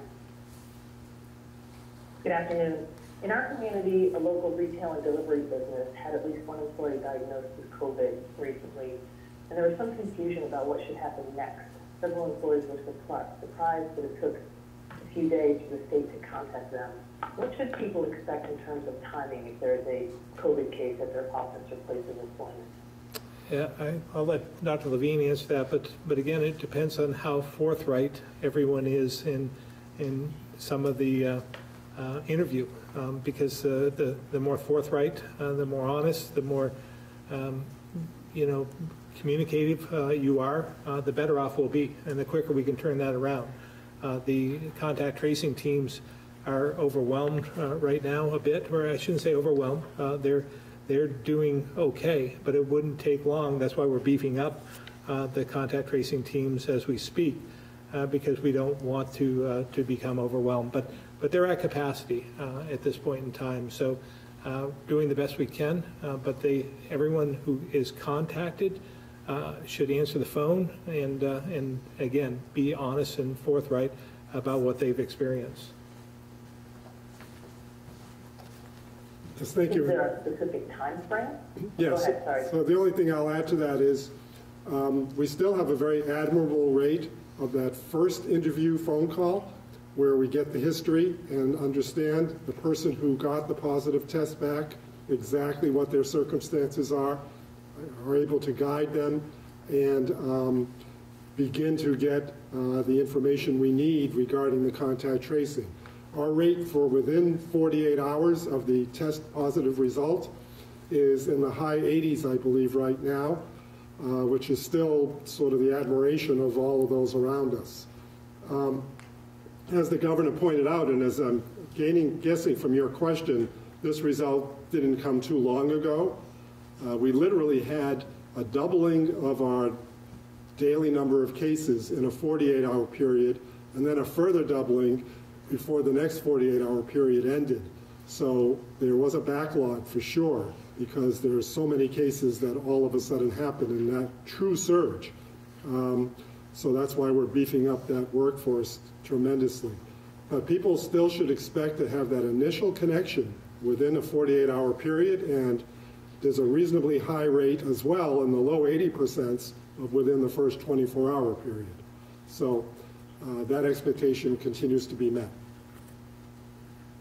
Thank you, that's helpful. I have a second question, probably for Commissioner Schirling, and it's about the um, state beginning the protocol checks. What has been found in those protocol checks at gear in local lodges and inns? Uh, Good afternoon, thanks. Uh, Very briefly, in the interest of uh, time, as of yesterday morning, I I haven't checked on today's numbers, uh, 237 uh, assessments have been done. Uh, Again, the vast majority of folks are largely in compliance. A few places with some uh, need for additional education, uh, they're ongoing, and uh, we'll continue to report those numbers uh, as they come in. Thank you very much. Andrew, Caledonian Record. Uh, Yes, thank you. Good afternoon. Uh, My is about uh, the school surveillance testing. Um, I'm wondering if there are any advantages or disadvantages to doing this baseline testing on the eve of the Thanksgiving vacation. And uh, do you have any uh, forecast or predictions for what this testing may reveal? Uh, I'm thinking with, a, you know, uh, an above 1% positivity rate, if you test, say, 10,000 teachers and staff this week, are you expecting that you might see as many as 100 or more positives uh, as a result of this random test? Again, I'll let Dr. Levine answer that, but from my perspective, the sooner we can get this on the ground and exercise, uh, the better off we'll be. Uh, It will also create some sort of baseline uh, for us to, uh, to go by for the future. Precisely. Now, this is called surveillance testing. This is getting a pulse on the population, just like we're doing in long-term care facilities, just like we've been doing in our correctional facilities, et cetera. Uh, The, the take-home message here is that each population, whether they're the ones I just mentioned or the teacher and school staff population, don't look at them as teachers and school staff. Look at them as members of their community. And they represent what's going on with the virus in their community. They still have to go to the supermarket. They still have to go um, out in public uh, to do certain things in their life. They don't need to go to small gatherings at other households, admittedly, but again, they represent their community. So whatever the positivity rate in their specific community is, is probably going to be reflected in them because we know the nasty thing about this virus is that it is uh, not always symptomatic right away, and people walk around with it not knowing that they have it. I have complete faith in the education community to already be doing the masking and physical distancing because that is so drilled into their daily life in their work site. So they can't help but be making that part of their habits all of the time. But they still have to live in their communities, and that's what we'll see. I think the timing, as you refer to in your question, is perfect because we'll see where it is now when we're uh, certainly in a major battle with this virus. We'll see where it is uh, right before Thanksgiving, and we'll see where it is right after Thanksgiving. Um, and uh, that will all be really, really helpful for us in addition to just the usual daily case data that we get from people who've opted to get a test. Um, I guess as a quick follow-up, uh, if contact tracing is, um, is beginning to get strained, the capacity, and there are a number of positives that result from this teacher testing, would you ever envision prioritizing uh, what cases get the, the tracing investigation? For instance, would you push uh, school staff uh, and teachers to the, to the front of the tracing line um, in the interest of the stated priority to, to keep schools open? Yeah, so the, schools actually are kind of there anyways because we have a special uh, outbreak response team that would generally respond when there's a case in a school setting, um, as opposed to an individual getting a positive test uh, that's not associated with such a setting. In addition, the schools at this point in time are very well versed in how uh, we communicate with them and how to respond when they have a case in anybody who works there. So we often find that the contact tracing process is already underway uh, because everybody's very interested in knowing if they can keep the class open, keep the school open, etc. And superintendents and principals have to make hard decisions the minute they find there's a, a positive case. So they generally are uh, a little bit ahead of the game anyways, and often put things on pause for a day, where they just want to collect all the information they need, so they let their school community know that either the school or a specific class is on pause until they can gather all the complete information they need to make the most accurate decision and disposition. Okay, thank you. Tim, Vermont Business Magazine? Hi, Governor. Uh, there's not only health and COVID fatigue concern, there's economic fatigue concern as well. There's not going to be a congressional stimulus package until next year, like there won't be a vaccine. And what what can you tell Vermonters about uh, the economy over the next few months, given that we're sort of in this place where there's not going to be uh, assistance uh, for the for the near term anyway? Well, th- there will be some assistance uh, in some respects. We did get approval uh, through the Joint Fiscal Office, or Joint Fiscal uh, Committee, uh, to implement our economic plan. Uh, That was about, I think, uh, all told, about $100 million there. So that's, that's quite an injection into the economy uh, over the, the near term. Obviously, we need more. I mean, that wasn't anywhere close to what we need to get the economy back going. But I believe um, that Congress gets it. Um, Certainly, uh, President-elect Biden does as well, uh, and uh, current President uh, Trump does too. So there is still a little bit of hope. I've spoken to um, some of the congressional delegation about this. There's still some hope that something might get accomplished in the lame duck session, but, but time will tell.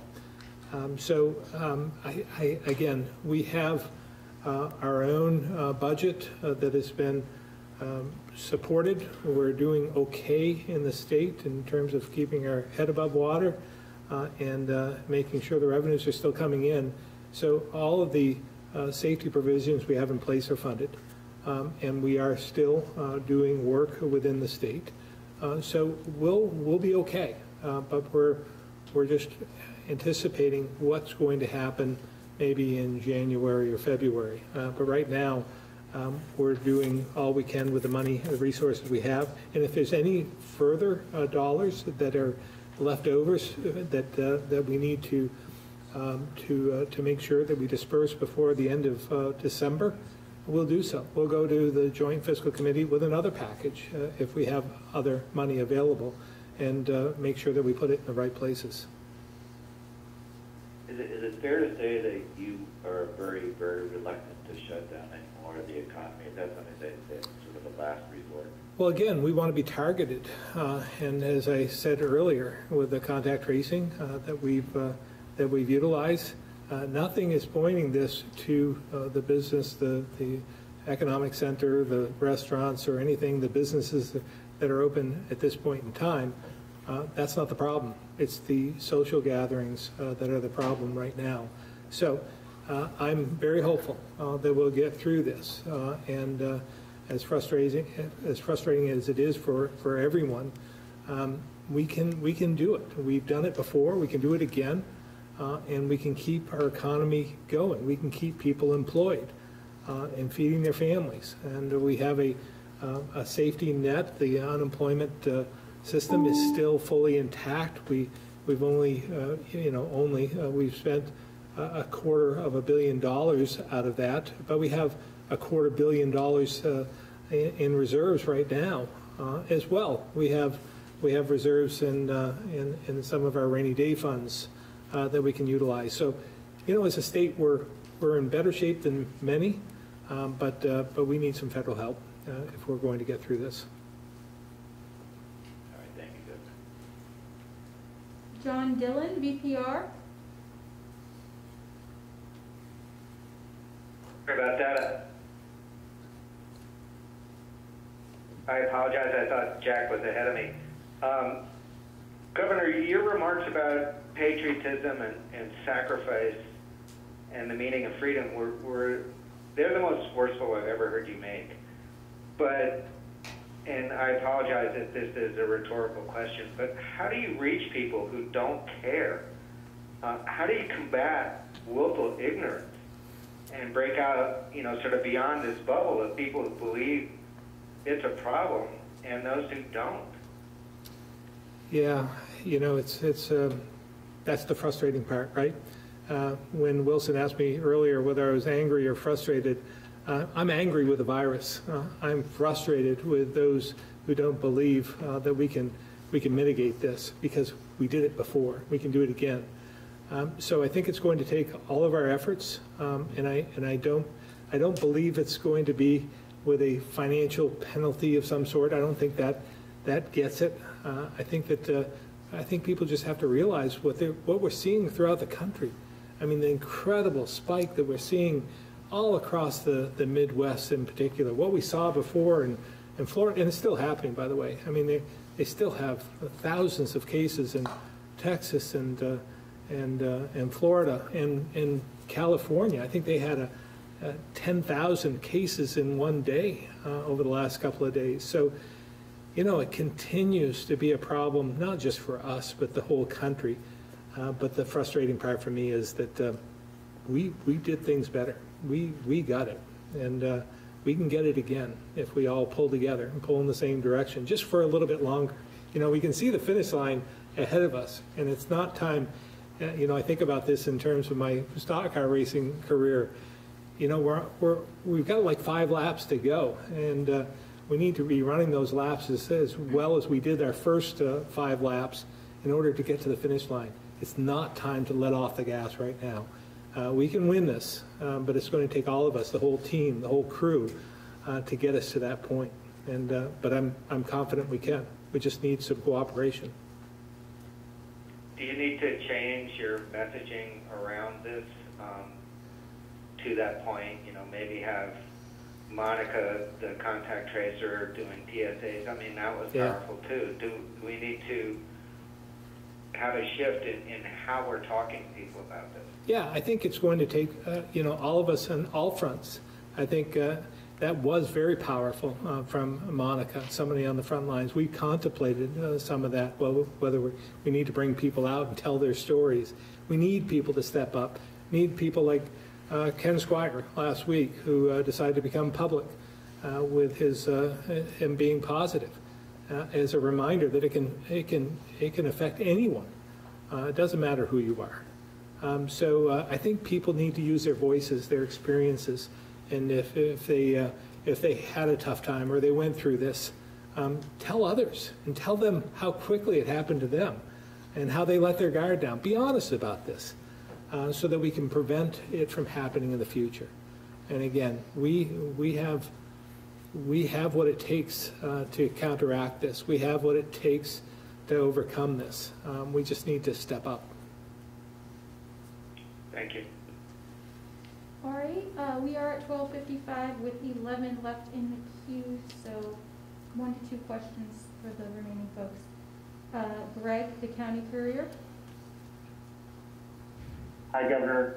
Uh, um, Looking at the current cases in respect to population, uh, there's about nine times more cases in Washington County than here in Franklin County.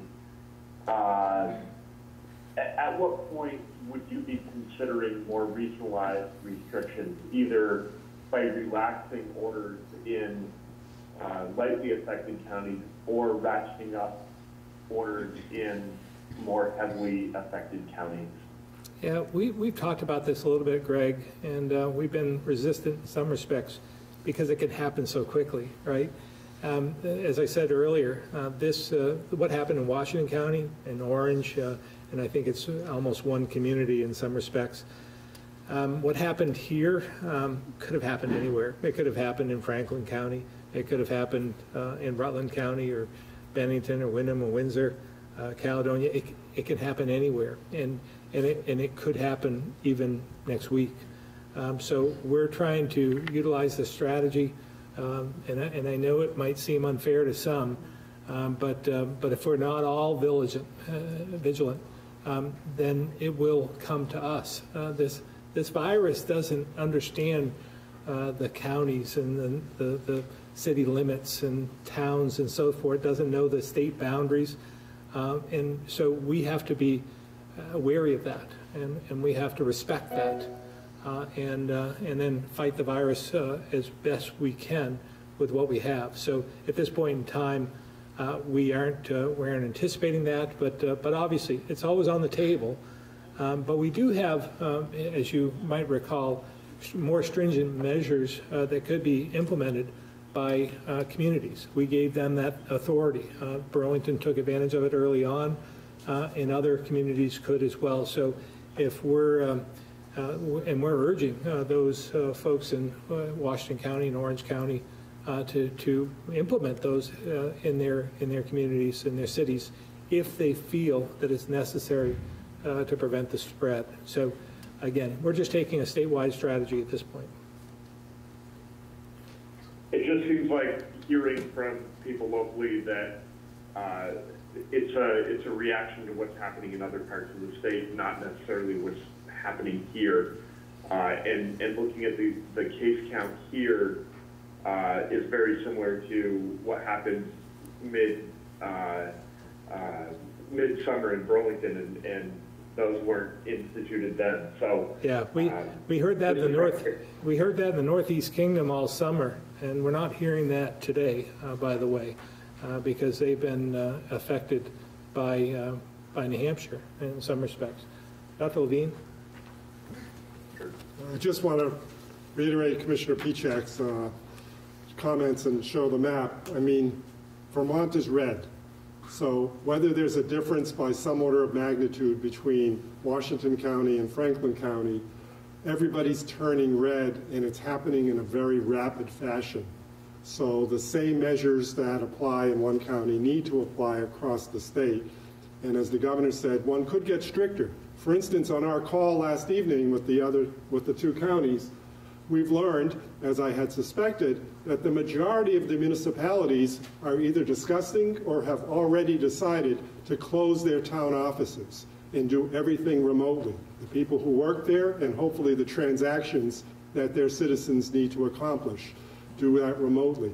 They made that decision very consciously and acutely because they knew what they were dealing with. Uh, that's just one example. Um, but I don't believe there was anything in the executive order that said close all of your town offices. So that's something that they have opted to do, and it's probably going to turn out to be a very good public health measure. Uh, but we wouldn't want uh, counties with lesser activity to think they've kind of escaped it and they're off the hook. That's the, the take-home message.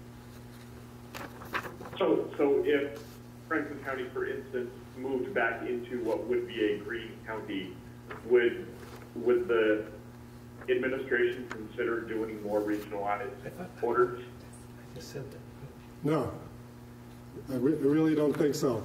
I think that everyone who lives in Franklin County would pat themselves on the back but say, we've got to maintain this because we are surrounded by a sea of red and we can't let ourselves slip back.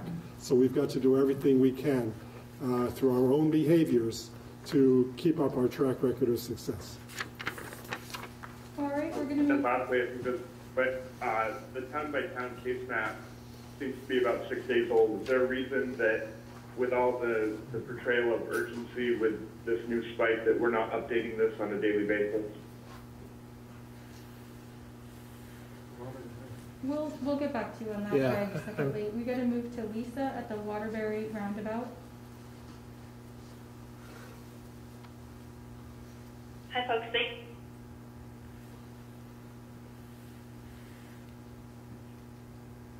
Hi, folks. Can you hear me? We can. Okay. I have a question about keeping schools open. Um, in our school district, since it's such a, a huge priority, um, I'm wondering where we have a school this week that's gone to all remote learning because they didn't have enough teachers uh, to teach in person this week, at least for a few days. Our district substitute list normally before COVID was around 80 people for the district for our seven schools, and it opened this year in September with about 20 or so substitutes on its list. Um, I know of people that are applying to be substitutes that would like to step up to do this, and they're hung up waiting on background checks. Um, I know one recent college graduate who's waiting at least, I think it's now into his fourth week that he's waiting for his background check to get cleared. And the school district office told me that they generally take between four to eight weeks to get the background checks processed. Is there some way that state agencies could help kind of speed this along to get the people who are qualified and willing to do this into the classrooms to help keep kids in the classrooms? Um, and another suggestion, the second part of that is a, there was a good report on this on VPR yesterday after some discussion where um, educators are talking about how there could potentially be a way to share lists of substitutes so that maybe substitutes could be willing to work in more than one school district and, and they could share that information to try to make sure that they could keep classrooms staffed and keep the schools open. Um, Lisa, I'm going to see if Secretary French is on the line, but uh, from my perspective, uh, yes, we can do more. Uh, in fact, we've talked about this uh, over the last uh, couple of months, anticipating uh, that if we had a rise in cases, we wanted to make sure, because there's a ripple effect of rising cases, and it means that there are going to be fewer people available for work. So we talked about this. Um, maybe Secretary French can can talk about it a little bit further. Thank you. Yeah, thank you, thank you, Governor. Um, yeah, I mean, the issue of the background check um, is an important bottleneck. Um, we work on this all the time. Uh, Deputy Commissioner Herrick and I were working on a, a case in uh, Franklin County, assisting a superintendent in getting access to fingerprinting and so forth. Uh, some of the delay does come from the federal end um, and the uh, national sort of criminal information system and how, how quickly those checks can come back. So it is a bottleneck, but on the other hand, uh, we do have to ensure the safety of our students. Um, your point about sharing stuff is a, good one. Um, you know, most districts do share their sub lists and rosters among the schools in their district. Um, a lot of times, in my experience, those subs are only willing to work in certain circumstances or certain geographic locations. So it does become a little more challenging, but it's a good idea. One that I'll pursue the superintendent a bit. Okay, thank you. Jolie, Local 22.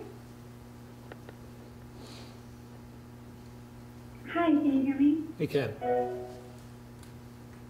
Thank you. Um, I was also wondering about the substitute teacher shortage, so Lisa, thank you for asking. Um, my second question, um, Dr. Levine, um, Dr. Fauci made mention of going back to relative normality by April or July of 2021. Um, I just wanted to know your opinion of that and if you agree. Um, what, are you seeing from your perspective? that kind of thing. Yeah, thank you for that question. My um, projections have always been summer to fall of 2021, going back to normal, assuming the vaccine trials can continue the way they have been and the enthusiasm continues. Based on the fact that we could have two vaccines, or at least one of the two, actually distributed before this calendar year ends, I wouldn't mind moving the projection up to the spring, but I wouldn't want to uh, hold that out to people and say, just get to the spring and you'll be fine, and then turn out to uh, disappoint them. So I'm not going to overpromise that by any means. But I will say we do anticipate if the Pfizer vaccine uh, continues to look as um, safe and efficacious as it's reported to be, and it passes muster across numerous aspects of the scientific community, we could have perhaps 20,000 doses in the state before New Year's. Um, now, 20,000 is not a lot when you look at the population of the state, but in terms of getting our highest priority groups, that would be uh, phenomenal, if you will. Uh, so I just put that out there as uh, one of the reasons why Dr. Fauci may perhaps feel more optimistic than he has uh, until this point. Thank you. Katie, VTDigger.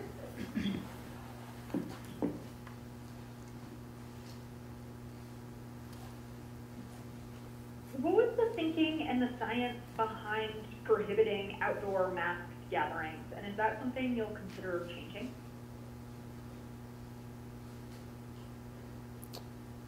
Maybe just, can you elaborate on that a little bit more, Katie?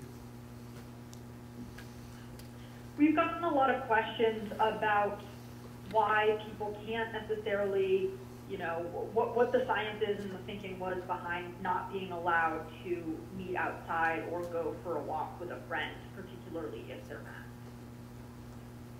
Um, I think we've been talking about that for the last two press conferences.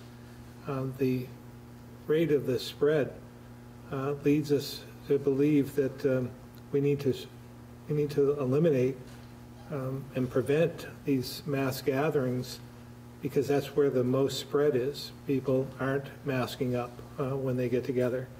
And, uh, and we're seeing more spread. We've seen the evidence of that with our contact tracers. So I think that's, that's everything. I mean, that's, that's what we've been talking about. Right.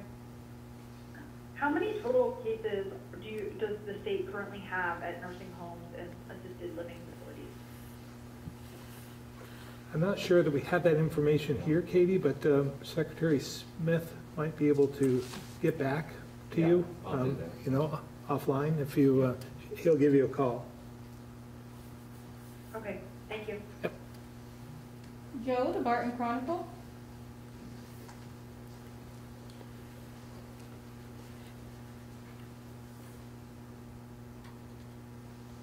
Hello, Governor. Um, I have a couple of questions from a town that have been submitted by uh, readers. Um, the first of them wants an explanation, or at least a clarification, on rules concerning um, religious services. This person um, goes to a church that um, shares its services with another church, so this is their month they will have about 30 people in a building with no singing or um, and doors open and social distancing. And um, the reader wants to know will this accord with the uh, state's guidelines at present? Yeah, we haven't changed um, the religious services. Um, That's stayed the same. So we haven't done anything different with the guidelines with uh, religious services. So, so that should be all right then. As far as I know, yes. Um, We'd be happy to, to provide those guidelines to you if you don't have them, or if you can't find them on the uh, ACCD website. I'm sure I can find them, but thank you very much. Um, a second question may not be for you, but it's from a person who says that um, the fact that EBP, EBT payments are not accepted by Instacart is making her life difficult because um, she can order groceries through Amazon at a higher price, but um, places, uh, other supermarkets in her area um, don't offer curbside uh, pickup um, using the EBT card. And is there any way of changing that, or is something the stores have to do? I'll let Secretary Smith try and answer that. Thank you. Thanks, Joe. I, um, I'm not familiar with the answer to your question, but I will get an answer for you uh, from uh, DCF. So let me, uh, let, when I go back to the office, I'll uh, contact DCF and we'll get an answer for you.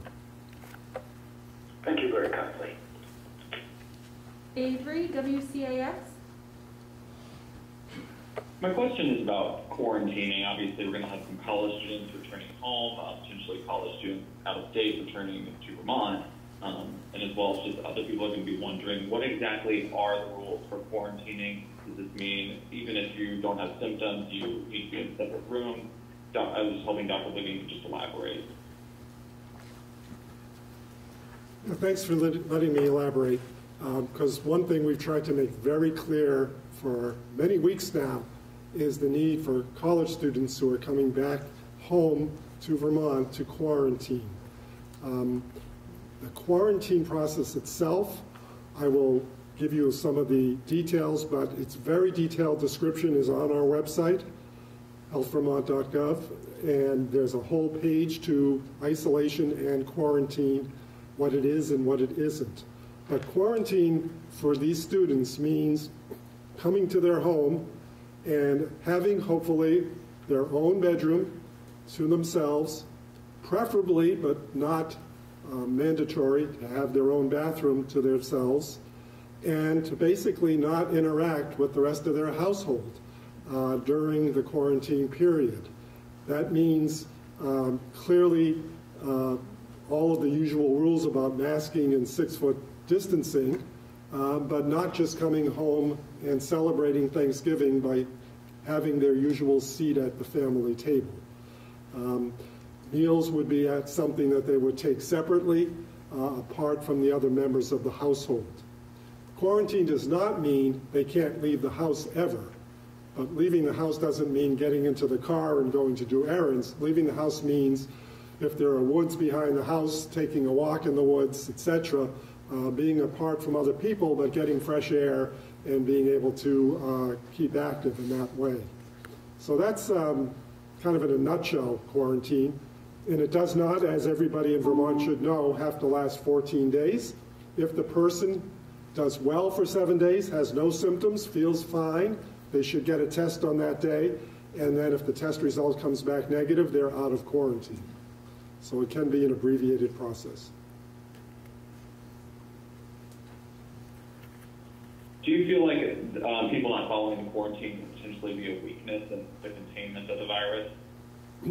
Oh, I think there's always that potential. And, you know, one thing we didn't mention when we were talking about the ICE team outbreak and uh, the ways those counties um, got to the condition they're in now is we do believe there were some instances where uh, quarantine was not abided by. And people who had no idea they had virus because they felt fine were able to be the transmission person to other people. So obviously not, nothing is perfect, as the uh, governor has said on a number of times. Um, we don't have a rigid enforcement that uh, we track you the minute you cross the border and take care of that. But we would hope, certainly, knowing that most students are coming back to be with their families for a prolonged period of time, that their families, having listened to us many times, understand the importance of this process to protect themselves and to protect their communities. Thank you. Guy Page?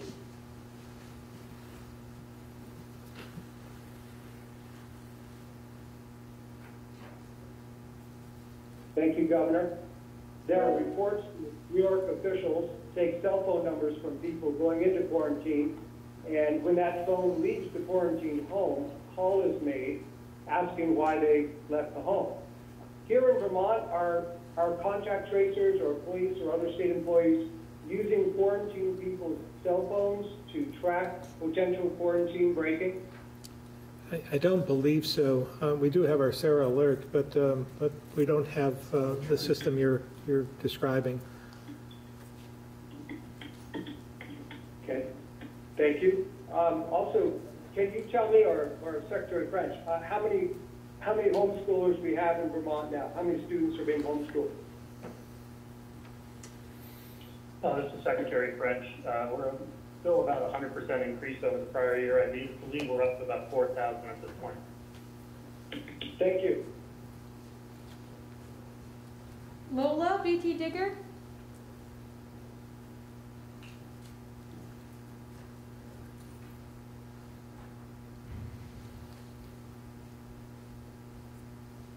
Lola, VTDigger? All right, we'll go to Colin at seven days.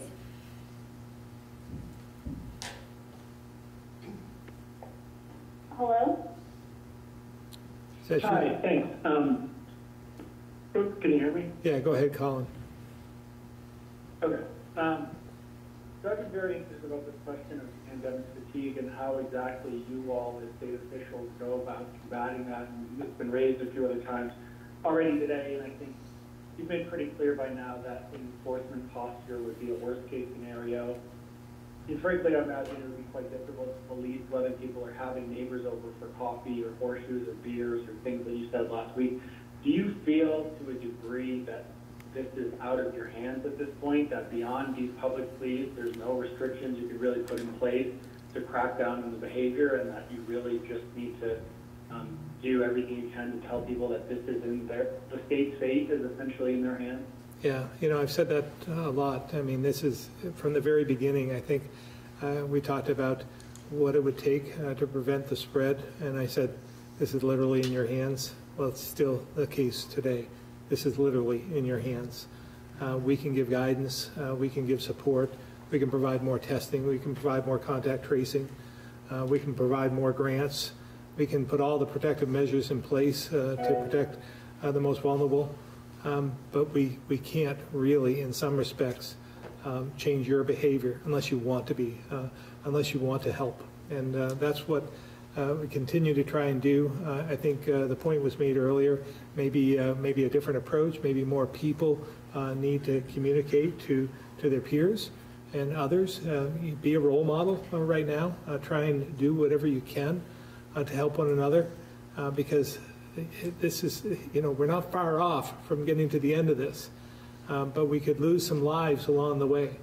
And uh, I, am sure each and every one of us doesn't want it to be one of our family members, and or our friends or our neighbors. Uh, when, when I don't know how you know each and every one of us uh, would react to that if we were the cause of, of that death uh, in some remote or or some uh, direct way. Uh, so think about that uh, when you're um, when you're not masking up. If you can mask up, and I know there's some people who can't mask. I mean, they they have some uh, health reasons why they can't, uh, and we have to be sensitive to that. But for those who can, please do. And if you can avoid interacting with one another, please do.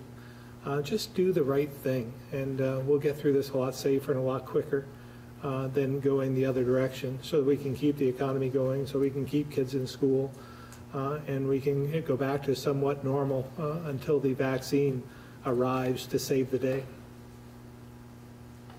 Great, and then just really quick follow-up, thank you. I, um, I don't mean to put you on the couch here, but you, you've really been widely praised for how you've handled this. I think a lot of people think you've taken, um, taken the right steps at the right time.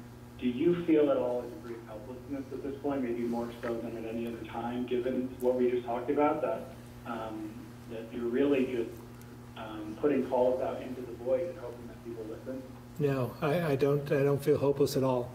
I feel confident we can get through this because I believe in Vermont and I believe in Vermonters and I believe in my team. Uh, we've all done so much. Uh, again, uh, the entire state. Uh, it's not, it's not as though the vast majority of people are doing the right thing. So that gives me hope. And, uh, and I'm, I'm confident we can get through this. So I don't feel helpless whatsoever. I get, I get frustrated um, and I get angry at the virus. Um, but, uh, but I, I, I don't feel helpless at all. Thank you. I believe I heard Lola on.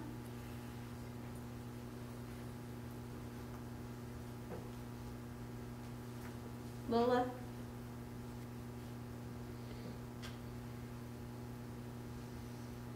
Okay, we're going to move now to Steve at NEK TV. Can you hear me? Go ahead, Lola. Can you hold, Steve? Uh, sorry, um, uh, Lola's on now. Uh, thank you. I appreciate you guys uh, coming back to me. Um, just really quickly, uh, do we have any evidence of uh, school-based transmission after the union cases or all of the uh, new cases that we've seen still, you know, cases of the virus coming into uh, Dr. from Levine? the community? Yeah, well, I am not aware of any evidence of school-based transmission since those events that you described. Um, Okay, great. And uh, just a quick question about the surveillance testing, which is underway right now in K-12 schools. Um, at what point do you think you'll start uh, reporting that data, and will that data kind of be reported through the mechanisms that we already have for, you know, school data and community-wide data, or will there be some sort of like separate report of here's what this massive surveillance testing effort is telling us? Yeah, so so far, obviously, any positive case in a staff member or a teacher at a school would automatically get posted uh, twice a week to our school website that we maintain to report those. We haven't yet talked about any greater overall report, but I can tell you that I think that would be useful, you know, in terms of an aggregate report. Probably not something we'd want to come out with every three days, but something to assess our experience at some uh, point in the future.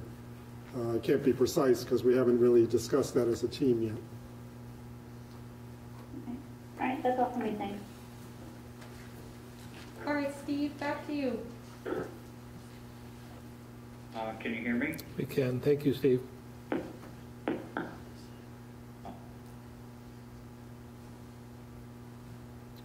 We could hear you. Now we can. Oh, can you hear me? We can now. Can you hear me now, please? Yes. Uh, thanks. Uh, quick one for the governor and the doctor, if I may.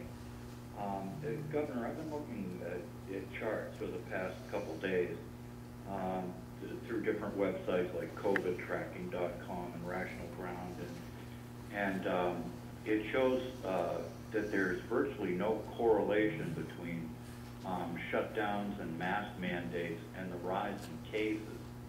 Uh, it seems to me that the uh, the rise in cases is due to the rise in testing, and it, it I mean, we can do these precautions, but uh, it doesn't seem like uh, that there's any correlation between uh, the lockdowns, the mask mandates, and the uh, and the exponential rise in cases in different countries and in different states. I, I would fundamentally disagree with you. I believe there's a direct correlation to uh, a mass mandate and, uh, and lower case counts. I think what the problem is, uh, is that uh, we, not everyone's doing the same thing throughout our country, and we're so mobile, both in this state and throughout the country. Uh, and if you have, um, let's say, uh, North Dakota, South Dakota, even New Hampshire doesn't have a mass mandate, um, we have we have border crossings every day from a number of, uh, of folks from New Hampshire, and they don't have a mass mandate, and they and they've uh, done things differently in terms of of closing down or not closing down some of their um, their businesses and so forth. They've just taken a different strategy than we are, and you should know that, Steve, because we're seeing an outbreak up in the Northeast Kingdom, and I believe it's because of the infiltration of uh, of those uh, from New Hampshire that uh, became red in their county before it came into Vermont. So it leads me to believe that that's where we're seeing the transmission. So I, I just fundamentally uh, fundamentally disagree with you. Well, they, anecdotally too, we're uh, we're seeing a lot of a lot of out-of-state plates from as far away as Texas and stuff. Um, that you know, uh, it, more so than than I've I've been seeing New Hampshire plates. But anyways, uh, the charts don't seem to bear this out. Maybe you could double check. Uh, Uh, Dr. I'm not going to double check. I just don't agree with you. Um, Doc, uh, you get the next question. I always do. Um, the- the Dr. Levine, uh, on the PCR method, I had a question from a viewer um, about uh, the, the cycles uh, on, on the PCR machines. Um, the FDA recommends uh, 40 cycles, um, but some people claim, or some groups claim that 30 cycles would be more accurate. Um, would, us using out-of-state labs for testing, are they all using the same number of cycles, or do different labs do different PCR cycles? That's a very good question. They do, uh, each platform, so let's not look at the lab, you know, LabQuest, LabCorp Quest, our public health lab, UVM's lab. It's really the platform that lab uses uh, to do their testing.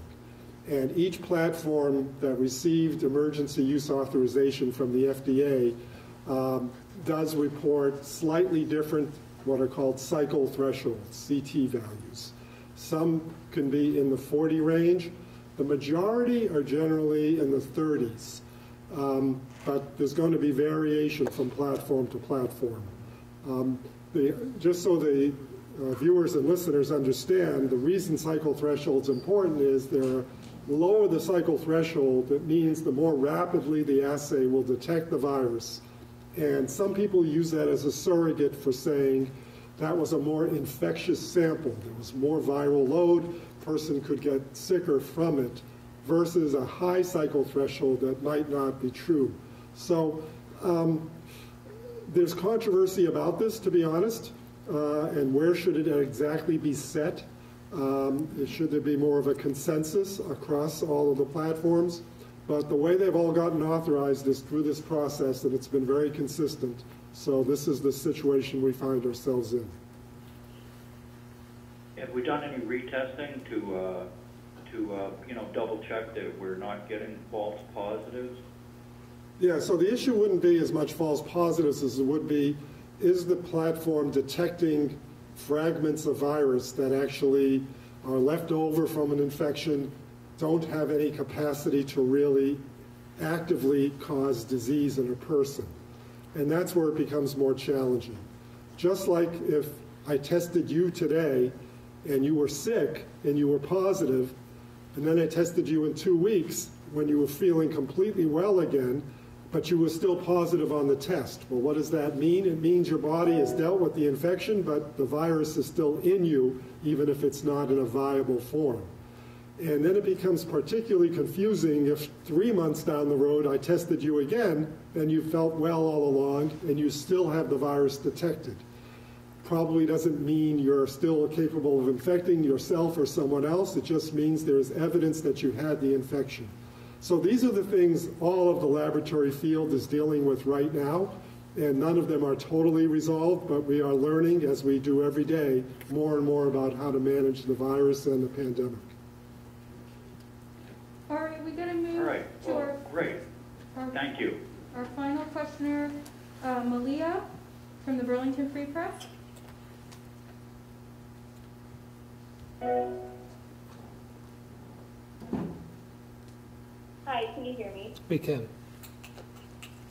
Okay, my question is for Governor Scott and Dr. Levine. I'll try to keep it short, but um, towards the beginning of the call, you characterized some of the behaviors that were exhibited in those 71% of cases where social gathering was happening. Um, and I just wanted to see if you could further characterize what these hangouts looked like in general in terms of gathering sizes, if they tended to be indoors and outdoors, and just anything else that can kind of give us a sense of what those look like and, and sort of uh, what happened in the last month and a half or so. Yeah, I think uh, I'll let Dr. Levine answer or sum it up, but uh, primarily uh, indoors, uh, all sizes.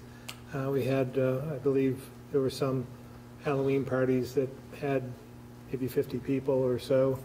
Um, And uh, so it was just full range, uh, but primarily indoors versus outdoors, I believe. Dr. Levine? Yes, a variety of sizes of parties. And remember, if you were like us, who chose to move our table of goodies to the end of our driveway and stand outside for two and a half hours, Halloween was not a warm night. Uh, so even people who had planned on an outdoor gathering, which admittedly they may have thought was safer, uh, we're not going to do that because it was quite cold that night. But I want to emphasize um, not to take the, the blame off of Halloween, uh, but we have well-documented dinner parties, baby showers, uh, people in the high single numbers at a deer camp. Um, the story goes on and on. Opportunities for people to gather together from different households uh, in very modest sized circumstances.